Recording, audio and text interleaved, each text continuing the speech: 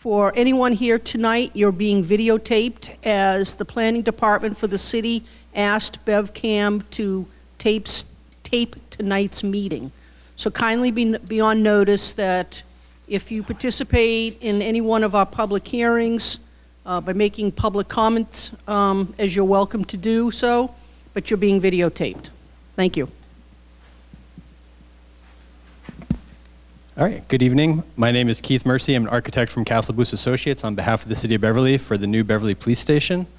Um, since our meeting last month, I just want to give you a couple quick updates on our schedule. Since the last planning board meeting, we have um, submitted and been approved by Conservation Commission. Our traffic study has been submitted and was approved by the Traffic and Parking Commission this morning.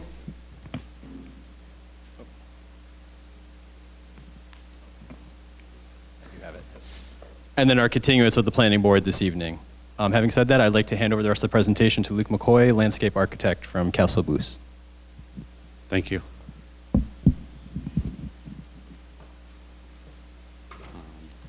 right, what I'd like to do is just very briefly um, go back through just to refamiliarize everyone with the project and the site, um, since it's been a little while since we've been here before. Again, the parcel uh, that is proposed for the new police station is located here within the Cumming Center off of Elliott Street. Um, It is the frontmost left, uh, right corner of that site right there. Um, It's approximately two acres in size. And the proposed plan uh, is as shown here. This is the same plan you saw last time. There's been no revisions to the overall layout, design uh, of the project, including grading, drainage, of that with the project. Um, One piece that um, we did go through last time, we wanted to make sure it was clear on the record, was that the building is set approximately six feet above sea level. We know that that was discussed last time, and there's correction made, so I just want to make sure that is in uh, with the record. Again, the main entrance into the Cummings, the four-way intersection is here, which will be used for the main entrance into the police um, station site. Public parking uh, and access will be right here, directly off of. Be able to come in. There's parking spaces. Still have the ability to access the ATM that is located there. The police um, parking and vehicles will all be to the rear of the building, which will be a secured parking lot and will not be accessed by public. The secondary um, uh, curb cut for the site is located here. Again, that will be for police uh, emergency vehicles only. That will not be used for public. It will be signed as such um, and is part of the conditional approval that was received this morning based on the Parking and Traffic Commission um, with it as well. And they've reviewed all of this as well as the updated, um, the traffic study that was submitted to this commission um, since the last meeting. And again, that meeting was held this morning, and we just received, so I want to, I'm to assume that it was also submitted, um, their findings from this morning's meeting um, to this group, so, uh, as well. So we do appreciate that they turned that around so quickly to you all uh, for tonight. Um, oh, Too many clickers here. Um, Again, just to give you an idea of context of the building, again, you've seen this, we've been through design board, but just to refamiliarize yourself, um, this would be um, the public entrance side here, the rest all through and around the back of the building is all secured entrance uh, for the uh, police department. Um, Again, just very quickly, traffic flow uh, for this.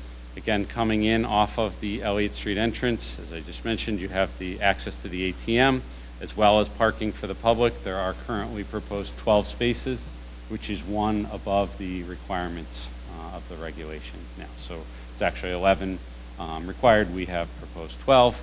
Uh, The remainder of the site, starting uh, in this area, is all gated and fenced for the police department only access. Um, And then that secondary entrance exit, as you see here, is only for uh, emergency vehicles coming in and out. Um, We touched on it briefly um, last time uh, in regards to the overall personnel that are within the department, um, as well as the um, six patrols per shift, um, and laid out for you the shift times, which were taken into account with the traffic study. Uh, The results summarized out of that study that was received not only by this commission, but also the commission this morning, uh, was that there was no significant impact on the area of the intersection, um, and there was minor impacts that are related to the relocation of existing um, traffic. The recommendations out of the report and as well as part of the conditions from the commission this morning uh, was to look at signalized timing adjustments, which would happen post-construction if this project is approved, and also the um, signal uh, reinforcement of that police-only um, curb cut off of Elliott Street to make sure that that is clearly defined uh, and not used as a, as a public way for any reason. Um, Again, um, with that, that summarizes what we discussed last time, and then an update on the traffic um, portion in the traffic study, which was um, the piece that was still outstanding from last welcome additional questions.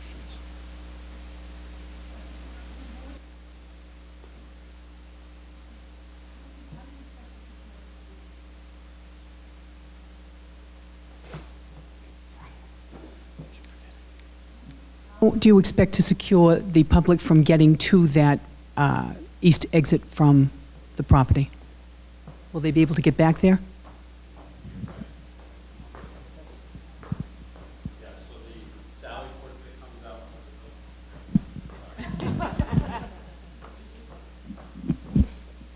Got to get my steps in today, I guess. So we have the uh, uh, vehicles come in, exit out through the Sally Port, and it's also gated. So there's a series of gates that surround and make sure that that's secure so that vehicles cannot get back into there, So, as well as adding signage, as was talked about. Yep.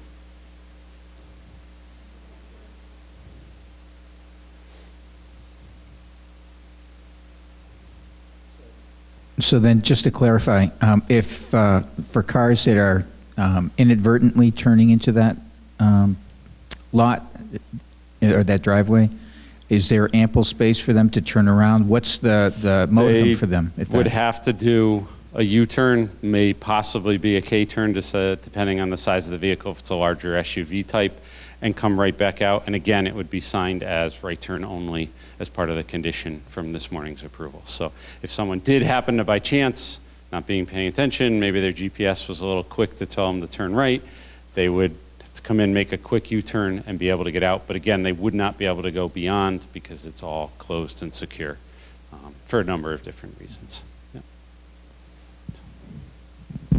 Just to be clear, you said that that secondary exit was, is only for emergency vehicles. So Does that include routine police vehicles or something Yes, they're- would be considered emergency vehicles. So any of the department vehicles leaving on a shift would be coming out through um, that secure entrance, And that's a right turn only, just to be Correct. clear. based on the condition from this morning's approval, yes.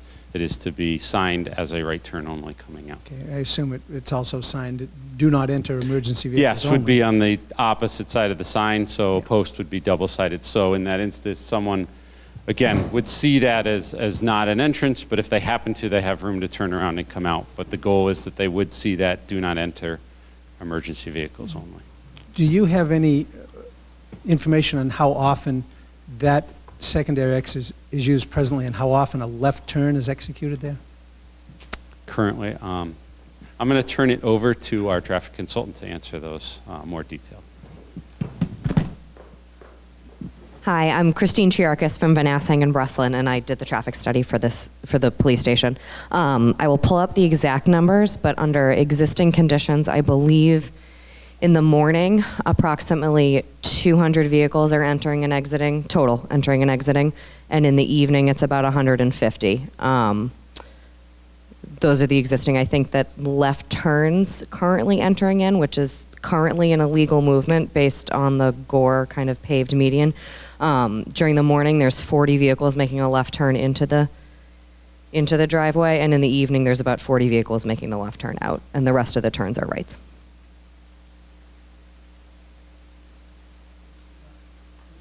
Sign- There's no sign currently. There is no sign currently. I was informed that at some point in the past, it, one, it had been gated a number of years ago, but that in a fairly recent past, it had been signed as no left turn, and that sign is no longer there. So there's a fair amount of traffic that'll move from the secondary in and out to the primary Correct. in and out, which is signed and regulated, as opposed to the secondary, which is not signed and regulated. Correct. Okay, thank you.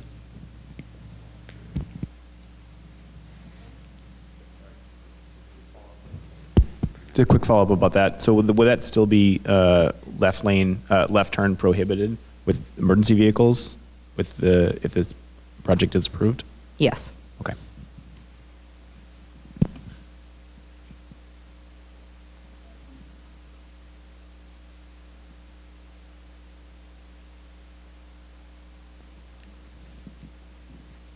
There we go. There we go. Um, Parking and Traffic Commission has as one of the conditions that there will be a post-development analysis of traffic impact following occupancy of the police station. Um, What's the time period in terms of after occupancy? Do you anticipate that the, the study will be done? Uh, Typically, we like to do it about six months post-occupancy.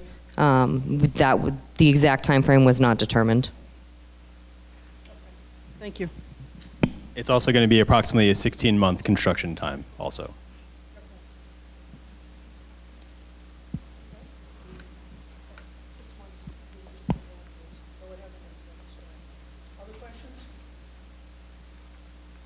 We'll open it up to members of the public who wish to speak.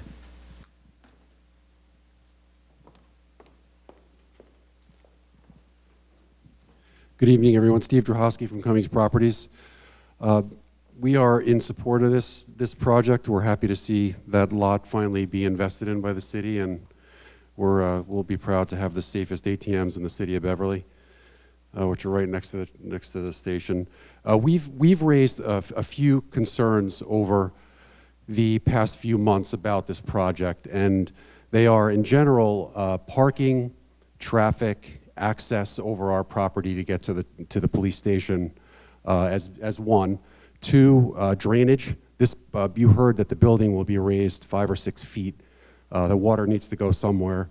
Uh, We know that the drainage on Route 62 doesn't um, handle what's sent to it. Three, uh, a 100-foot antenna, which was originally proposed but is no longer proposed. And uh, four, there is a large, I'll take the, I'll take it with me. There is a large installation of IT infrastructure that serves Cummings Center that comes basically through the building into the southern or the, the southern face of 100 Cummings Center and uh, serves most of our clients.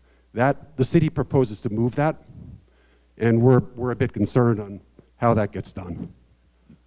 Uh, we have been, I've had a bunch of discussions with various people at the city, most, uh, most frequently Kevin, and uh, numbers two, three, and four we think are addressed. Um, we'd like to see them conditions to this approval. The city doesn't seem to want them to be the conditions of this approval. We're okay with that. Uh, we do have a proposed condition for access, which I guess I could share with the board.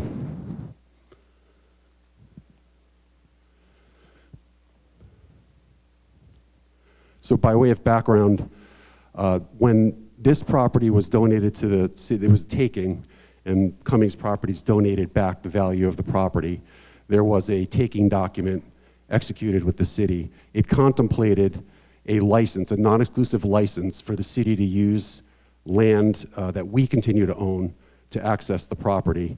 It envisions a detailed license will be entered. We need to still do that. So this condition uh, attempts to put that into the record. Can I?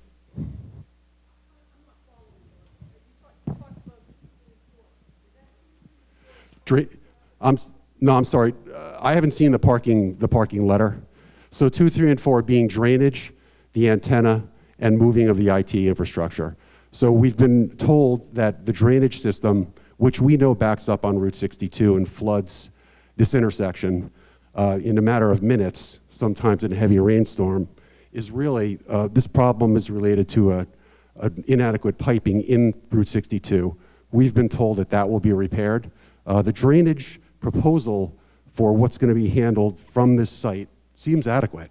But we know where it goes is to pipes that don't, can't handle it. So we've been told that that'll be addressed.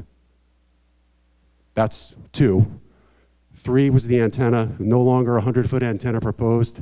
Um, I might not get the numbers exactly right, but Kevin told me as of yesterday, it'll be a 10, 10 by 10 space on the roof of the building, rather, and multiple antennas. So we were concerned about the appearance of a 100-foot antenna between the police station building and Cummings Center. That no longer will be, will be an issue.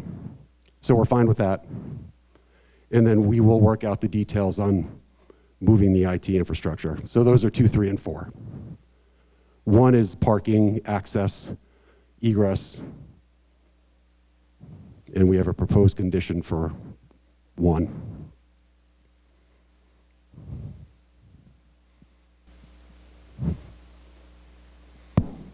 Steve, with respect to the IT infrastructure that's currently in place, is there an easement? There is no easement written uh, as far as we know. We haven't found one. How is it that Cummings ended up with their IT infrastructure under land owned by the city of Beverly? Don't know, it was all part of the United Shoe Machinery uh, facility at one point. We purchased the north parcel, which included that. Uh, And I don't, it predated every, everyone's, rec- predates everyone's recollection that I work with.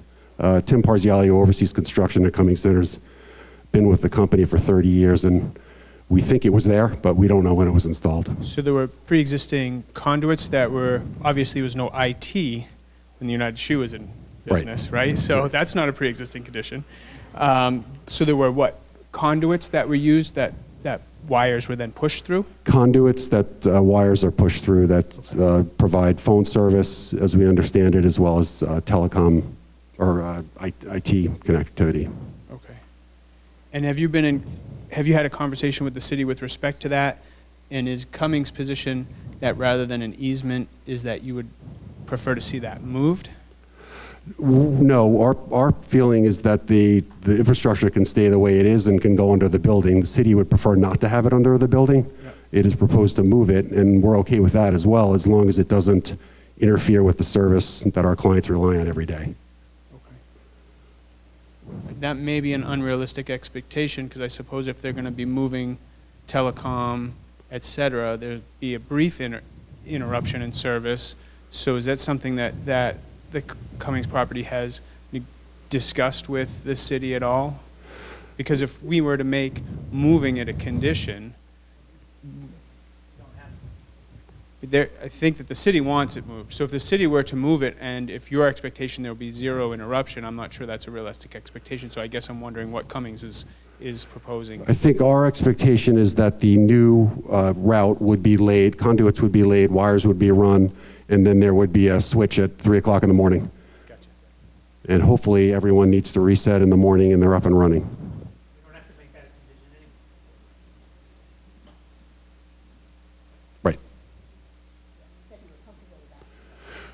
We're comfortable with that. We, we're trying to simplify this as much as we can. We had four concerns, and we had anticipated, we asked for this meeting to be postponed a month so we could work on the conditions uh, for those four items. The city would prefer not to do that. The city wants to keep moving. Uh, So we were, we were, we were forced to ask, however you want to put it, in the last uh, 24 hours to think about what really needs to be a condition, and uh, we've whittled it down to one. You expressed, I think you expressed overall concerns, parking, traffic, drainage, the antenna. Do you have specific parking and traffic concerns? We do. We do. We received the parking, uh, the traffic uh, study Friday afternoon. We haven't had the time to thoroughly investigate it. Uh, We asked for some time to do that. The Parking and Traffic Commission uh, felt that though the, I think you saw it on the slide here, that the, the proposed impact is negligible or no significant impact. Um, We, we wanted a little bit more time to think about how moving all of those trips off the east entrance into Center Drive and then adding the occupancy load from the, the station onto Center Drive, how does that affect things? We know that the timing on uh, Route 62 can be a bit finicky, uh, not always easy to, to regulate. We've understood that it's, we're pretty close to the limits of the technology, so we, we wanted to look at it a little bit more thoroughly.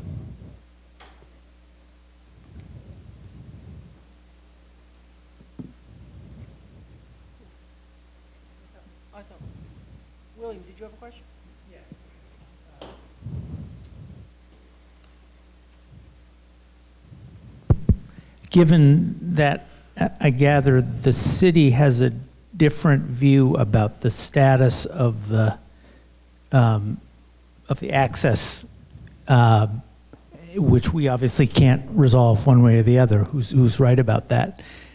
Um, And leaving aside the issue you just raised about your need for additional time to look at the parking traffic study, um, I'm just raising the question of how, how, how we could possibly include a condition or not include a condition based on some assumption about who's right about the issue of uh, access over the Cummings property.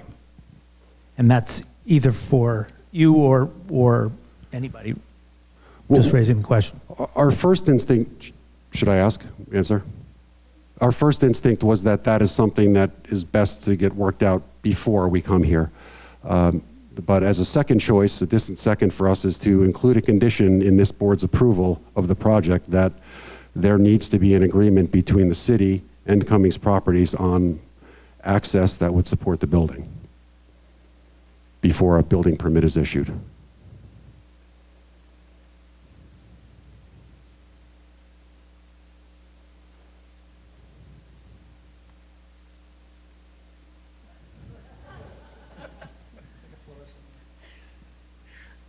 Aaron, did you want to weigh in? Thank you, Steve.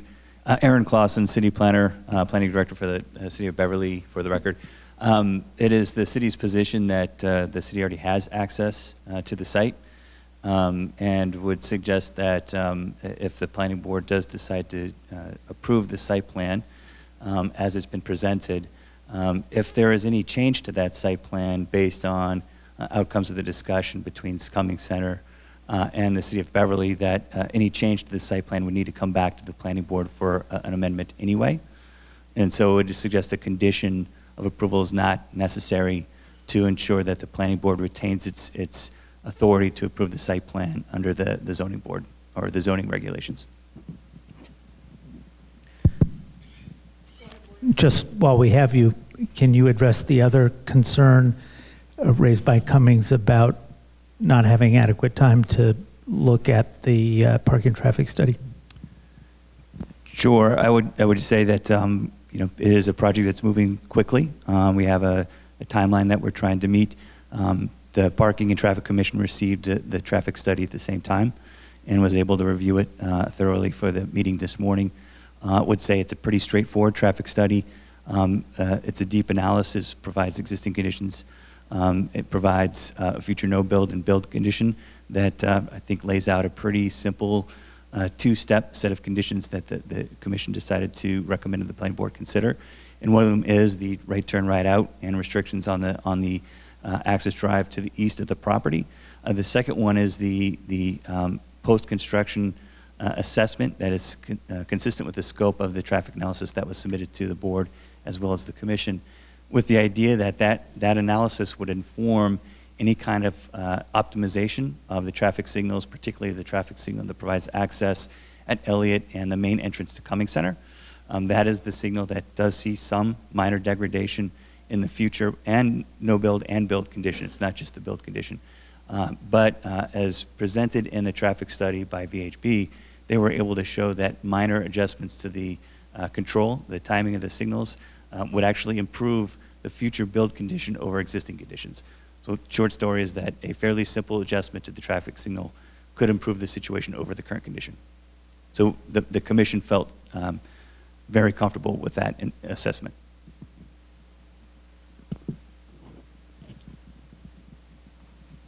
Steve, is your concern the lack of time to consider the recommendation of the Parking and Traffic Commission, or is your concern um, not enough time to look at the traffic study? Because I do note that the traffic study was completed on September 26th.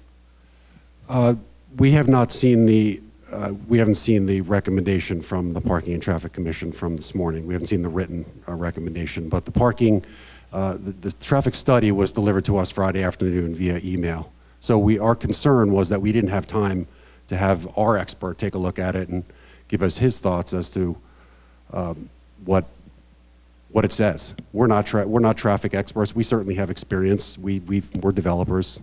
We've been here before talking about tr- traffic impacts for sure, uh, but we would have liked that time. So we we respectfully disagree with Aaron that um, if in a perfect world we'd have more time to understand the traffic, ask questions, have our expert take a look at it, and come back with some a, a a response, a timely response. In uh, a little less perfect world, we would like there to be a condition that uh, requires us to come to an agreement on access to Cummings Center to support this police station. We disagree with the city's view on what that 2001 document says. Okay, but I think we're talking about two different subjects here. We- One is the access issue, and then the other issue is your concern about the lack of time for you and/or your expert to give due consideration to both the, the, the uh, traffic study and the recommendation of the Parking and Traffic Commission. Yes. I will say that, just make sure that all board members know that you have a letter in your package from City Solicitor Stephanie Williams stating that, in her legal opinion, and the city's position and her legal opinion, is that the city does have access to it. And I think the point Mr. Clausen made about that is that's the assumption that's in the site plan we're asked to look at. And if that assumption turns out to be wrong because uh, Cummings is right, then they would have to come back to us. So I'm satisfied with, with that piece.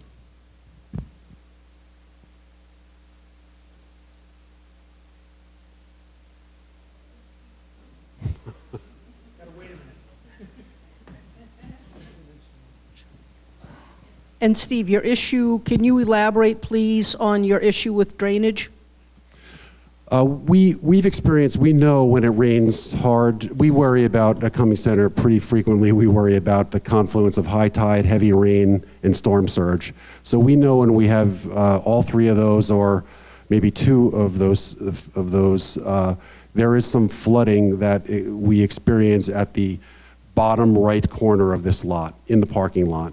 And we, uh, the catch basins seem to work fine, but what the catch basins are attached to, which is a pipe that runs east-west under Route 62, um, gets overwhelmed. So it backs up on the, on the lot that will become the public safety lot, and it also will create a nine inches or a foot of water in that intersection between Stop and Shop and Cumming Center in a matter of a couple of minutes. So we've talked about that with uh, Mike Collins, Kevin Harutunian. I brought it to everyone's attention, and we've received assurances that that issue that's off-site, um, the pipe to which the new drainage that serves the police station will connect will be improved, and that should no longer be a problem.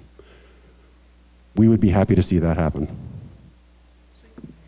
So you're satisfied with the city's representations to you about that? Yes. Okay.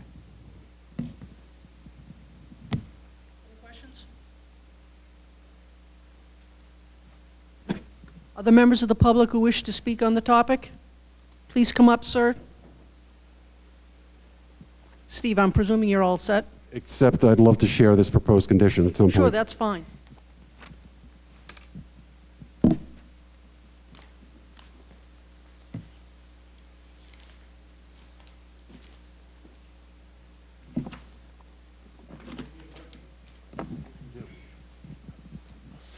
Thank you very much. Ron Coster, 14 Atlantic Avenue, Beverly. I am concerned about the drainage, uh, in, which has been mentioned in a flood tide or in a high tide situation. Uh, Elliott Street is lower than the um, uh, level of a high tide in the river, Bass, the uh, Bass River. And I wondered how that was going to be um, addressed, or if it has been addressed, uh, how that was going to be uh, remediated. Thank you. Does the applicant wish to respond to the issue on drainage? Uh, Good evening, Bob Griffin from Griffin Engineering. The um, proposed drainage improvements on site um, will improve the flow of water from the Cummings parking lot and from the police station out into Route 62. There's some uh, undersized pipes within the parcel right now that'll be replaced with adequately sized pipes. The proposed police station has a slightly more uh, green surfaces on the property than exist today, so there's going to be a slight reduction in stormwater coming off of the property as a result of the site layout. Insofar as the elevation difference between the intersection between Stop and Shop and the Cummings Center and the Bass River, we're really not proposing to change that as part of this project. I think that there may be some improvements coming down the road uh, to improve the flow of water east-west in Elliott Street. But the project that's in front of us this evening is really just the police station project and the uh, utilities directly associated with that.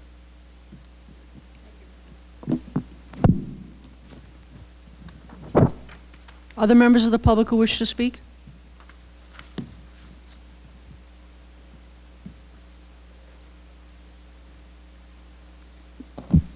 Maureen Driscoll, um, 11 Ocean Street, Beverly. Uh, I am a member also of the Bass Haven Yacht Club. And that drainage pipe, I believe that that drainage pipe that you refer to goes underneath Stop and Shop parking lot and under the Bass Haven Yacht Club. Am I correct?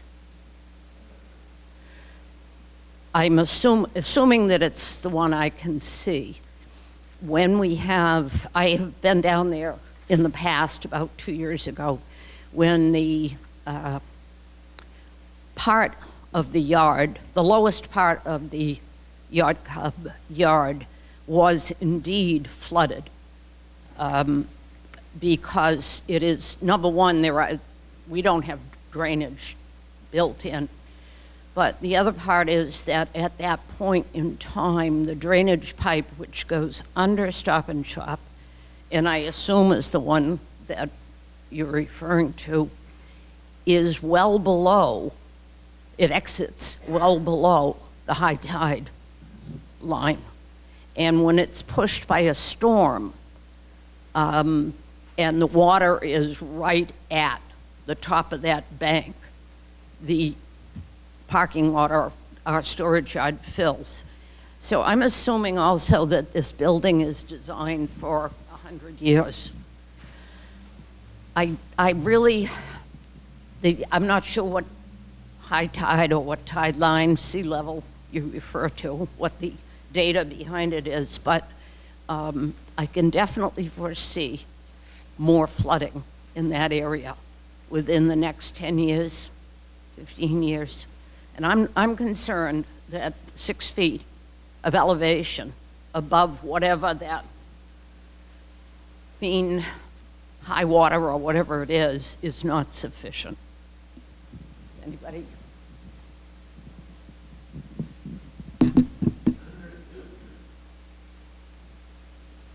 Uh, Just to address the elevation question, I did check the elevations as I was sitting there. The- The elevation of the intersection is about elevation seven and a half, which is about three feet above mean high water, but which is elevation four and a half. So we aren't going to do anything to, you know, adjust the grade of Elliott Street as, in conjunction with this project, and the commenter is correct that if sea levels rise and mean high water all of a sudden comes to a higher number than four and a half, then that uh, intersection may become flooded more often than happens today. But really, that's independent of anything that we're doing at the police station. The police station, in order to protect it from uh, storm conditions, has been raised significantly above the 100-year floodplain. So the 100-year floodplain at this site and in this portion of the river is elevation 10. So you can imagine if we had a flood at elevation 10, there would be two and a half feet of water in that intersection in front of the Stop and Shop and in front of the Cummings Center. But the floor of the police station is going to be up at elevation 14. It's going to be four feet higher than that 100-year flood elevation. Um, so it's going to be significantly above that. The parking lot around the police station is going to be above the 100-year flood elevation. Um, so there'll be a, sort of a, a high spot in that part of town. Uh, so if, if sea levels do rise, we are going to see uh, flooding conditions potentially in Elliott Street more often than happen today and potentially for longer durations.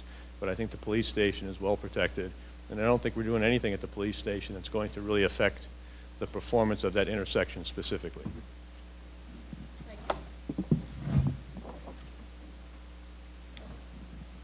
Mr. Collins? Hi, uh, Mike Collins, Commissioner of Public Services. Just to clarify, this is a separate drainage system from the one that goes, that services Stop and Shop and discharges through the Bass River. This, this drain um, discharges a little bit ri- opposite, right opposite McKay Street. So it's, it is a separate, uh, what you see at the, behind the Bass Haven, by the, um, behind Stop and Shop is just Stop and Shop's drainage. Thank you very much. We're also pursuing a larger project. We have, we have uh, received some federal funding. We're, tr- we're pursuing the permits to put a tide gate on the end of the pipe that this does drain to, because that'll be one of the ways that we can harden from future sea level rise. Um, But it's going to be a long permitting process. Thank you. Anyone else from the public who wishes to be heard? Okay, thank you. Board members, uh, before, um,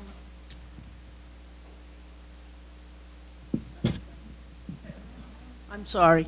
Um, I, before we make a decision as to whether or not to close the public hearing, I think we have to first make a consideration as to whether or not we want to give Cummings um, more time to consider the parking and traffic report and, uh, and the Parking and Traffic Commission recommendation.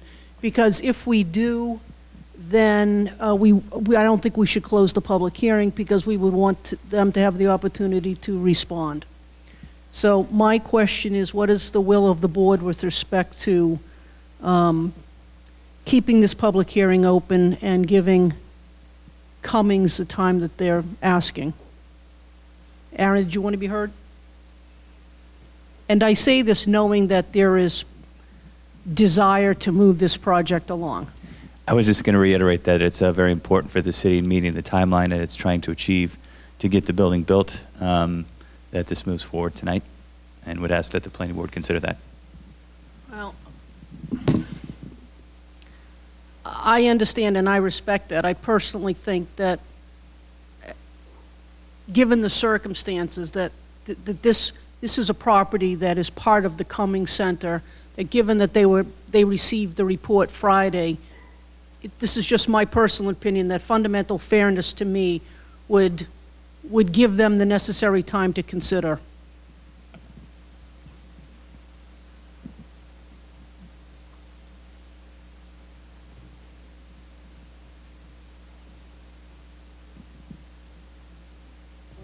I guess I would just opine that uh, there are only two conditions that we're considering, which is signal timing adjustments and signage to the secondary driveway.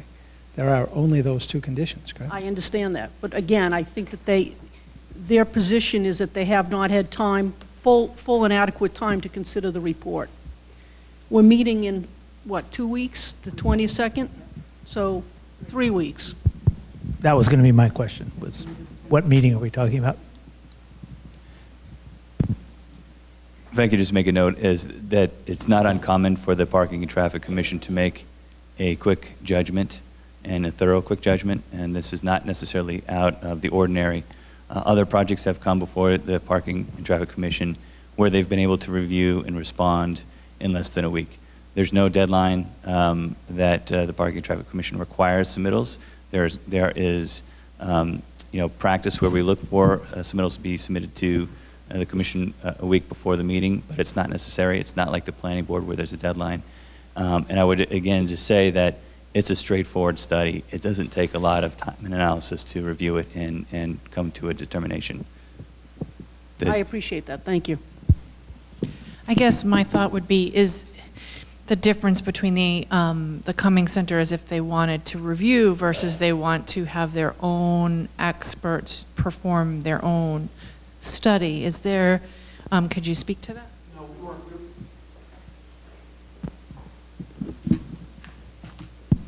We weren't planning on another study. We would just have uh, a traffic expert take a look at the report. The report's, I think in total, it was more than 300 pages. Um, So we would just have somebody who's more accustomed to looking at those things than we are, take a, look at it and give us, give us their opinion. Okay, I need to interrupt the discussion just for a moment. We have a public hearing scheduled for 7:45. We can push that back, right? Why don't we, uh, why don't we push back the 7:45 to 7:55? Can I get a motion for that, please? Is there a second? Seconded by William. All in favor? All opposed? Okay, so the 7:45 hearing is pushed back to 7:55. So now we're back to the parking, I mean, the uh, coming. Yes. There we go, here it comes. Um, If I could suggest uh, a thought, um, we know that many people here to discuss or hear about the Depot 2 project. I think it would be, it would be fine uh, for the board to move this discussion to a later time in the meeting and begin the conversation around Depot 2.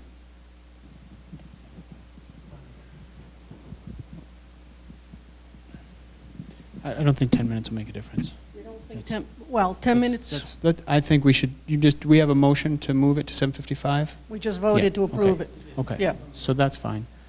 Um, Staying on topic with the police station, and Ellen, you had asked with respect to Cummings having some additional time to look at the parking traffic. Uh, My two thoughts on that are, one, the intersection is operating at an F. It's not going to get any better or worse. We've heard that time and time again. Um, Two, Cummings is a sophisticated property owner. A- And three, I believe we heard from Cummings uh, last meeting that they don't anticipate the, the, this project impacting their parking whatsoever. There's an excess of parking on their um, property.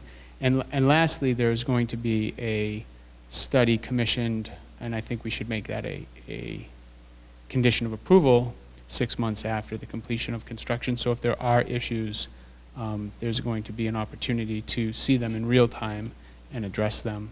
So my, my personal feeling, feeling, you're asking, you know, what the pleasure of the board is, you know, my thought is that it's appropriate to act on this now, and, and if the applicant and Cummings have a difference of opinion with respect to the city solicitor's um, legal opinion and access, that's not really for us to decide. So I'm just saying that this, this may, regardless of whether we approve it tonight, may not be the end of the story, I guess, in a practical matter. Um, So my point is, uh, you know, from my perspective, I, I'm comfortable proceeding on the site plan uh, review application and voting on it tonight.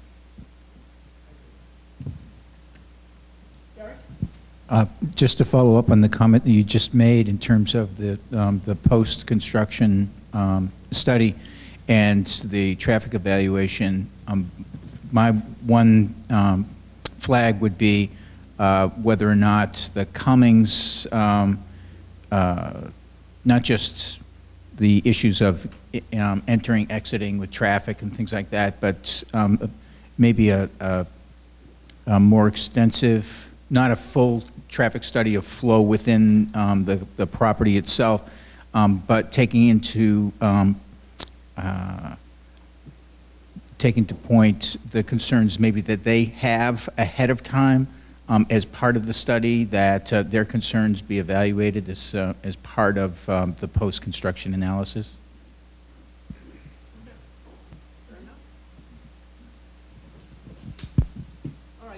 Seems to be the consensus to close the public hearing.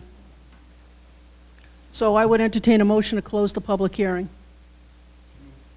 Moved by Ned, seconded by Ms. Flannery. Discussion on the motion? All in favor? All opposed? Motion passes. Public hearing is closed. Can we do this in five minutes? You always get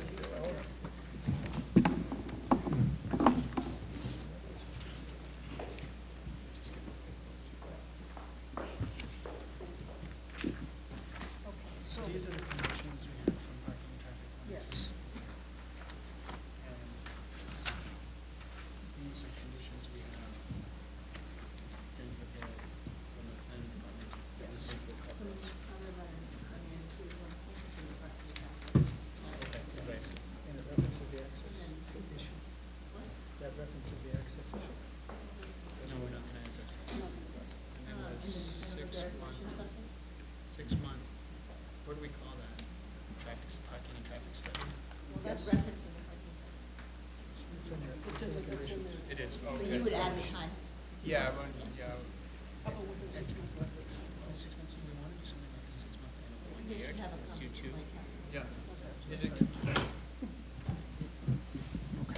Okay. So I guess I'd like to start the process of uh, a motion with respect to site plan review application 142-10. Uh, My motion would be to approve that site plan review. uh, Applicant calling to construct a police station on the two-acre parcel at 175 Elliott Street.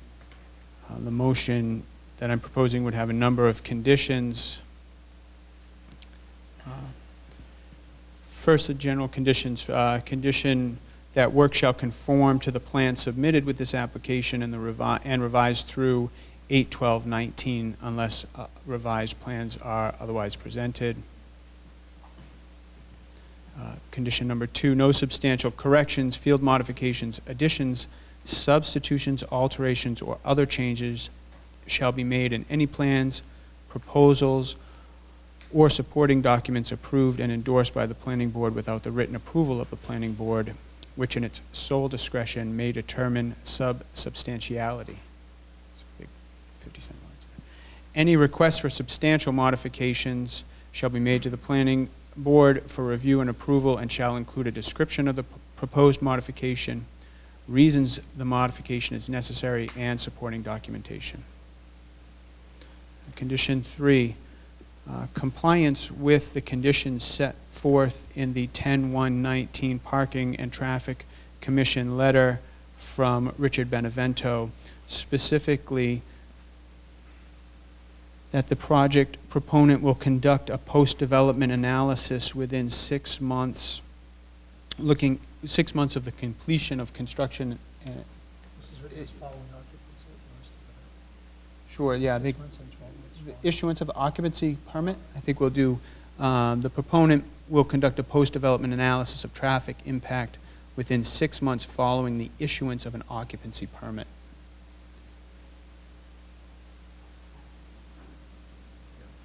At six months? Okay. Um, So the, I'm going to revise that then. The proponent will conduct a post-development analysis of traffic impact following the issuance of an occupancy permit at six months following the issuance of the occupancy permit. The analysis shall be consist- consistent with the scope of the current traffic impact and access evaluation submitted as part of the site plan review to inform potential traffic signal adjustments in order to optimize signal timing. Signals shall be optimized so that traffic operation does not degrade to an unacceptable level of service, or in cases that are already operating at a level of service E or worse, shall be same or improved over existing conditions. Um, And to address Derek's uh, uh, concern, the Cummings Center uh, shall be afforded an opportunity to provide input um, with that post-development analysis. Uh, Additionally, from parking and traffic, signage shall be installed at the unsignalized driveway located near the east property boundary, consistent with MUTCD standards, indicating that the access drive is for emergency vehicles and right turn in slash out only. And again, these conditions are uh, memorialized in the 10-119 letter of the Parking Traffic Commission. Number four, compliance with any and all conditions set forth by the Board of Health in a letter from Bill Burke dated 9/3/19 incorporated herein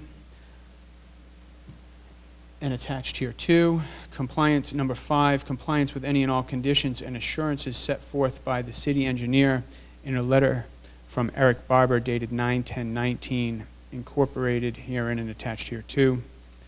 Number six, as-built plans stamped by a registered professional engineer shall be submitted to the Planning Department and Department of Public Services prior to the issuance of the certificate of occupancy. The as-built plans shall also be submitted to the city engineer in electronic file format suitable for the city's use and approved by the city engineer prior to the issuance of the certificate of occupancy. That, in a nutshell, is my motion. Okay, Wa- Seconded by William. Discussion on the motion? Wayne? Just wonder if we should add uh, six and 12 months for, um, for uh, post-development analysis? Any thoughts on that? Six months is quick, and it's after the uh, occupancy permit, so things may not be up and running particularly uh, robustly. I'll tell you why I stuck with just six months is because, um, given the nature of the project, I think things will be up and running quickly. The police station, um, my guess is that they're going to occupy and get operating quickly. So I thought that um, just one uh, kind of look-back study would be sufficient, um, and that's why I chose six months for the motion. Further good discussion on the motion? Okay, all in favor? All opposed? Yes.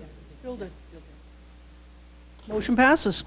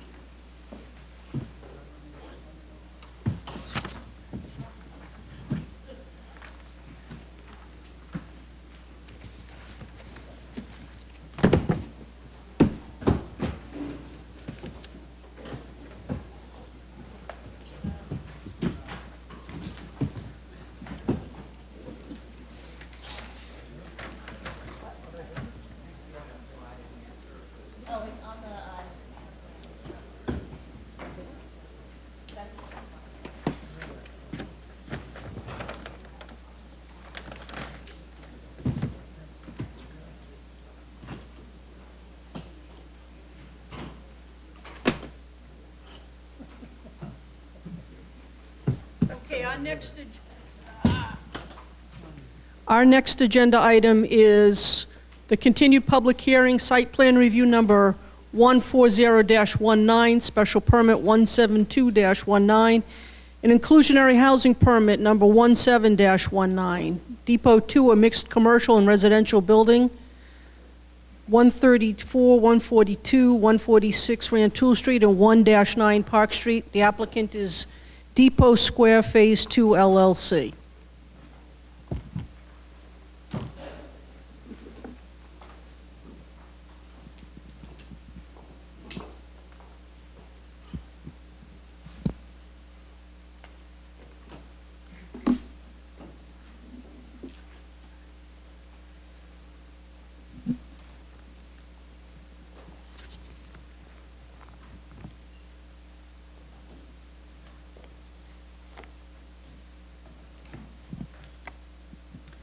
Uh, Good evening. Members of the Planning Board, Miranda Gooding from Glovsky and Glovsky on behalf of the applicant and the team um, is here again this evening. Chris Copeland from Beverly Crossing, Thad Siemasko, and Krista Broyles from SV Design. And there's also a, a new attorney from Glovsky and Glovsky, Connor Walsh, also uh, appearing this evening. Um, as discussed at the last public hearing on September 10th, we are uh, prepared this evening to discuss two main topics. Um, the first is the project's compliance with the tall building guidelines as requested by the board. Um, and the second is a review of the special permit criteria for the project. Um, I, I want to say that, um, forgive me in advance, I'm going to talk as quickly as I can because there is a lot of information to get through on this project, which is a big one. Um, and there's a lot of information to present on both topics. Um, we're going to do our best to conclude within about 45 to 50 minutes so that there is ample time for the board to uh, share some of your thoughts and concerns and questions about this project as we have not had an opportunity to hear from the board and we really could use some of that guidance going forward at this point. Um, so, on the tall building guidelines, um, tonight's presentation is essentially the same that was given previously to the Design Review Board um, and which culminated in last month's straw poll revealing that a majority of the members agree that the design is consistent with the general intent of the city's design guidelines for tall buildings, at least preliminarily. Um, a word about the guidelines. They are contained, as members now know, I presume, within a 48 page, rather dense document that has shown itself to be susceptible of very different interpretations depending on the viewpoint of any individual reader. Regardless of one's viewpoint, I think we can all concede that the guideli- guidelines are not perfect. Some of them conflict with one another in application, as you will see tonight, and some of them haven't worked particularly well in the projects that they have been applied to. Fortunately, our ordinance only requires consistency with the guidelines and not strict adherence to them. With all that said, they are the governing document for this project, and the applicant has worked very hard to navigate by them in designing the project. As outlined in this slide, the stated goal of the guidelines is to harmonize new construction with the existing urban context and to minimize the impact of tall buildings' heights on its surroundings. This goal signals and affirms that the guidelines are intended to apply to the analysis of new construction. They were never intended to be a blueprint for how or whether to preserve existing structures. The guidelines then go on to address the various categories of design elements enumerated on this slide, including street walls, side rear walls, maximum site area to height limit, corner buildings, gateways, civic centers and open spaces, landmarks, and view corridors. We have produced a list of conditions uh, which uh, pertaining to the various categories of these design elements, and um, Connor's going to provide the board with copies of our list, which was previously uh, uh, provided to the design uh, design review board.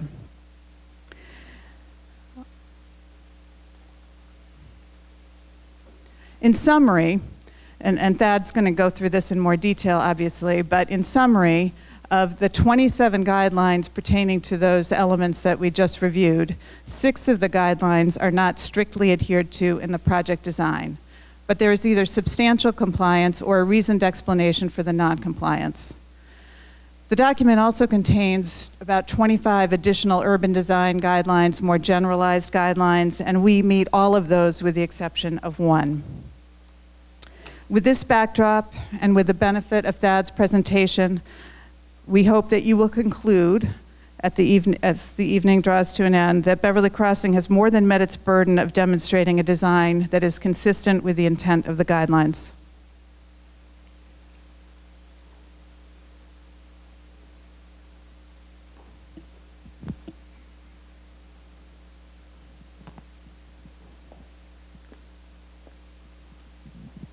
Thank you. Good evening, everybody. Good to see everybody.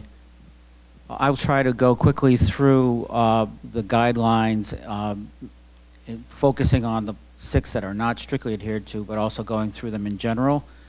And uh, that's, the guidelines have, some of it, some of them have a quantitative part, which is the building can be so tall and needs a setback of so much.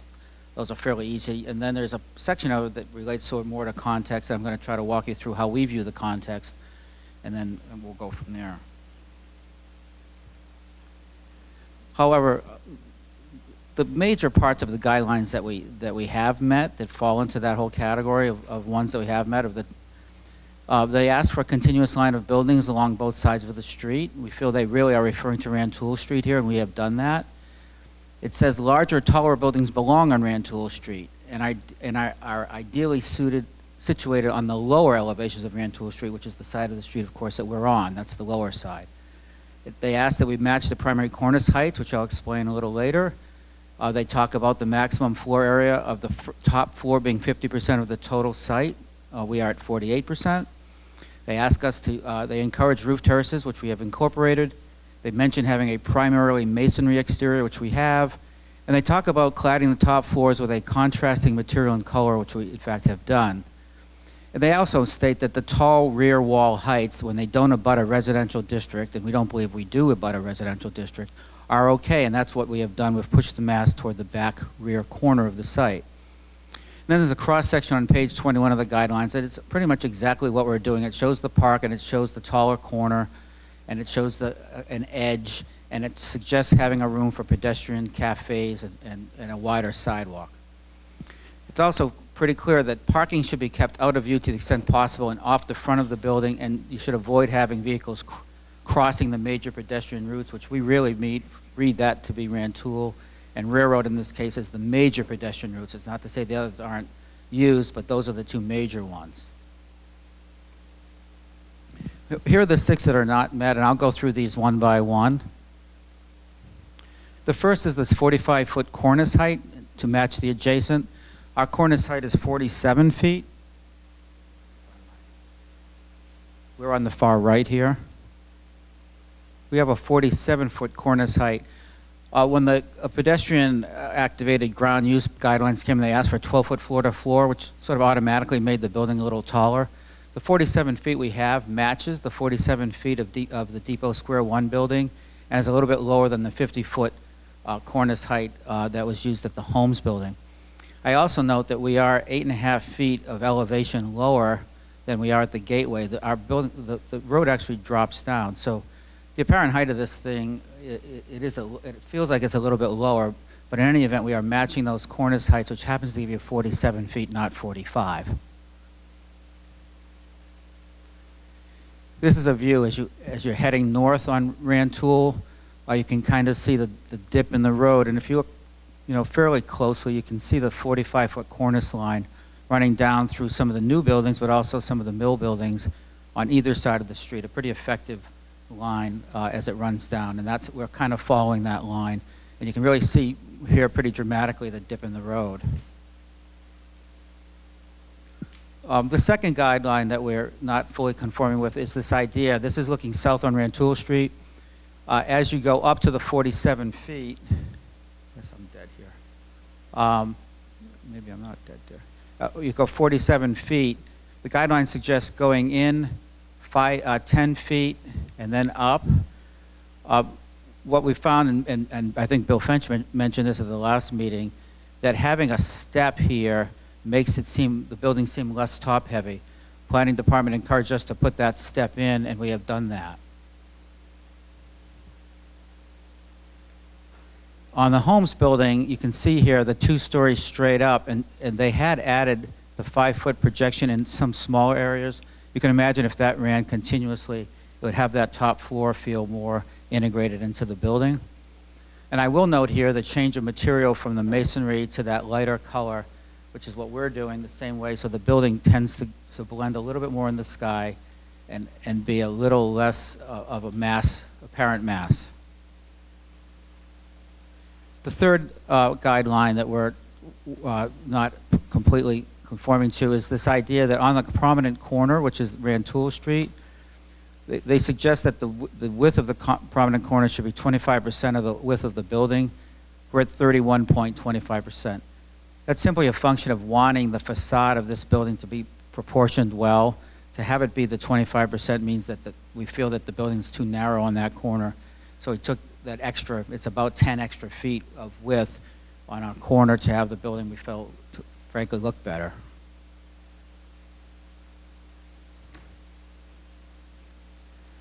The fourth one talks about setting the corner elements back somewhere between four and 10 feet. We've set it back, we've set it back an additional 10 feet uh, to be 20 feet back. This is so that it encourages pedestrian access to this plaza we've had for accessibility and to create a really great people place. By being a little further back, and we are talking about 10 feet, it's less distance from, from me to, to the wall, that's probably 12, 15 feet. Just a little bit more, just gives the post office a little more elbow room, so we're not bearing quite down on it. And then we're following what the post office did, which is it's set back off the street, but it strongly faces the park and has a series of steps that, that go down to the sidewalk, and we're pretty much following that exact format. And in fact, we have a strong facade element that faces the park directly, similar to what the post office does and what's happening at the depot. So we are on the park. It's a, it's a unique site here that we are on the park. We recognize that. And we have that corner facing strongly on the park. As one heads uh, south on Rantoul Street, that's a very prominent corner that you will see marking that corner, we think, very strongly. This idea of a consistent street edge along the park, um, we understand we have a good, strong street edge on-ramp Rantoul, but we think that the street edge along the park is a bit of a unique situation. We could very easily have put the five-story building right on the park and had a massive wall, but we felt that it, it works much better as a people space to have a little bit of relief on that corner to create this plaza. Our building does create a very strong street wall right at the corner by the depot, corner of Railroad and Park Street, but it, gives some relief as it comes forward and makes, the- it makes that plaza. Uh, So that, we think that with that, with multiple connections to the public sidewalk from the, from this plaza, we really meet the intent of this rather unique place for the street edge. It's still an edge, it's just a different kind of edge. It's still defined, it just has a bit of a, of a nuance to it where it goes from building to plaza to series of steps. I will point out the current condition at, with the uh, Casa de Luca and the press box has one corner at the entry, at one entry at the corner of Rantoul and Railroad that's not accessible, that would have to somehow finagle to get access to, and then a very blank, inaccessible wall for a good 50 feet or so until we get to a big opening, and then the press box start, which is with its two entrance. I don't view that as a very good street edge, to be, to be honest. What's there now, I think our street edge is much more compelling much more interesting and much more pedestrian friendly. A little diversion. This is a, a view of the courtyard. See if I can walk you through it. First of all, we counted the benches in Veterans Park. There are seven. We happen to have seven benches on our plaza located throughout. And this part of the plaza from the, this is Rantoul Street along the, the left here. This plaza is fully access, accessible to the public. It's not a pay for play. You can walk right on it. It's actually a little bit made a little bit wider, so it, it invites interaction, invites dog walking, and all that kind of thing. There are benches along here facing the walkway. There's some seating areas here and here that are public. There's a series of steps that goes down to the sidewalk off the plaza to create this porosity. We hope folks will kind of cut through and around the corner. There are places for public art, which are shown by these stars. All and it, and there's some good sized tree plant in, in planters along the way. If uh, this is set up for an outdoor dining for a tenant, but if an outdoor, if a tenant doesn't need that space, the plaza would simply expand into this area, creating even more room. We, we were strategic in the size of this walkway. We wanted it to be wide enough to feel comfortable that folks could sit on the bench and not have somebody walk so close to their knees it's uncomfortable, but also not so wide that it feels like it's, it's an away, it's a big wide open uh, desert. So I think we have the balance right.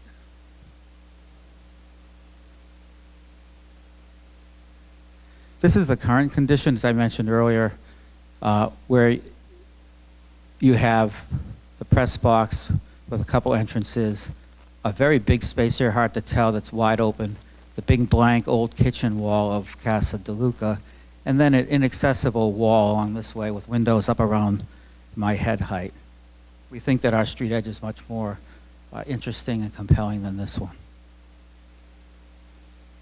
Uh, this was uh, Depot Matters uh, presentation suggesting that we have a wall along our, between our sidewalk and our courtyard that is as tall as this gentleman, who I think is kind of my height. Um, the reality is that the, the um, in the worst case scenario, this Portland gentleman here, uh, follically challenged as well. This is the high point. I've actually reverse imaged this slide.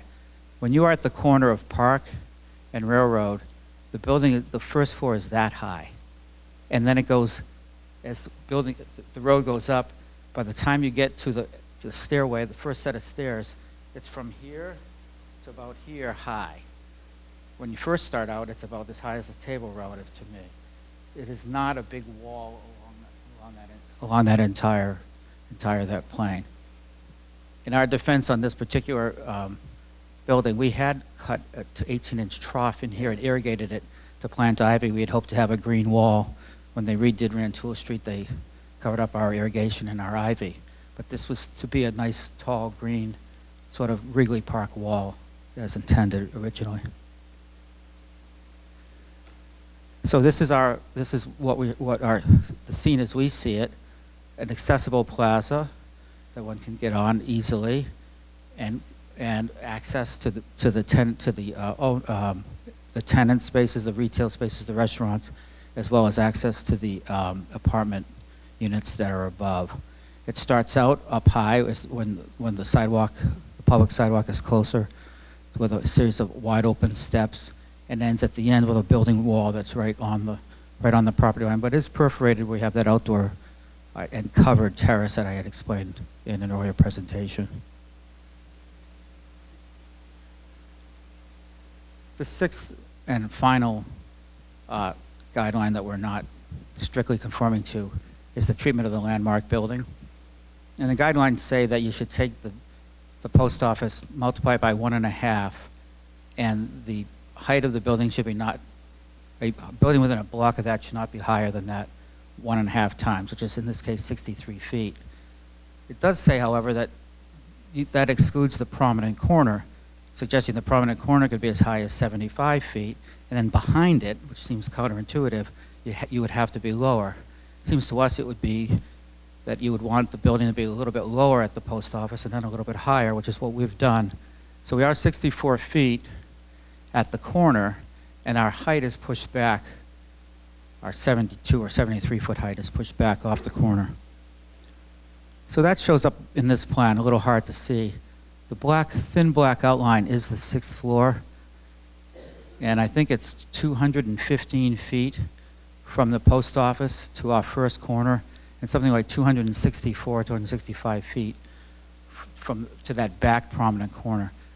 It's Depot, uh, the 131 building is, is much, much closer. It does not seem to affect the post office at all. We're diagonally across the street. We, we, see, we, we feel that there's zero impact of this building on the post office, which was in fact the intent, as, as we would read the guidelines, not to impact that building negatively or not to take away any sight line to it. If anything, by pulling back, we've improved the sight line to the building from the plaza. Uh, this slide is down lower on, on Railroad, nearer the depot. The red outline that we're showing here is what the tall building guidelines would allow, which is a five-foot setback, up 10, over 5, and up 10. We are, in fact, much further back. We cut back much further so that when is one is on the sidewalk across from the park, say at the farmer's market, they cannot see the fifth and sixth floor. They'd have to be across the other side of the park or in the middle of the park to see it from that perspective.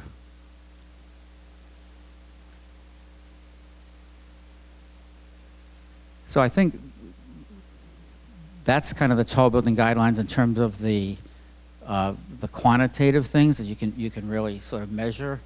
Uh, and then in terms of the context, you know, for our for our, for our perspective, the context is about, and we've highlighted the, the roofs of these buildings. It's about larger buildings, some new, some old, all working together.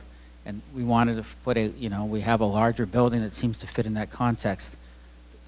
Further back, going between Rantoul and Cabot Street, yeah, there's a series of historic houses, but that first row is a row of larger mill buildings and or new buildings that have been built. And we feel like we're working with that context. And then, yes, we get to the park, and that's why we turned the C shape toward the park to take the edge off of having a wall against the park. But we do look, we, you know, these, this is the example of the kind of buildings we're looking at. I think you've seen this slide before. And some of the details that we're, that we're looking at as we, as we develop our masonry from the buildings around and in the neighborhood. And honestly, from the park, you can't see our building. This is, a, this is from Broadway, looking across. You can see a little bit of the yellow of Casa de Luca uh, in, the, in the very distance. And then quickly tar- talk about, it was suggested that the whole design of this building was based on how cheap it would be to build this kind of parking garage. Uh, it's actually sort of the opposite. What, the design imperative we were working, with, working with was locate the parking out of view and off the front of the building and avoid ve- vehicles crossing major pedestrian routes. So knowing that we, it made no sense to come in off of Railroad or Rantoul, and, and knowing that we had this slope of 13 and a half feet from one corner to the other, and some intermediate points at like nine and a half feet, as you see on the slide, seemed to us the best place to enter this building and to hide the parking was off of Park Street. That way, when one is coming home, they can come from both in town and out of town, or leaving, they can go out of town or in town and have all those choices. If we picked Pleasant Street, you'd have to go, all, everyone would have to go home by way of Rantoul and out by way of Lower Pleasant and Park. We thought that the Park Street gave a lot more options and, and eased the flow.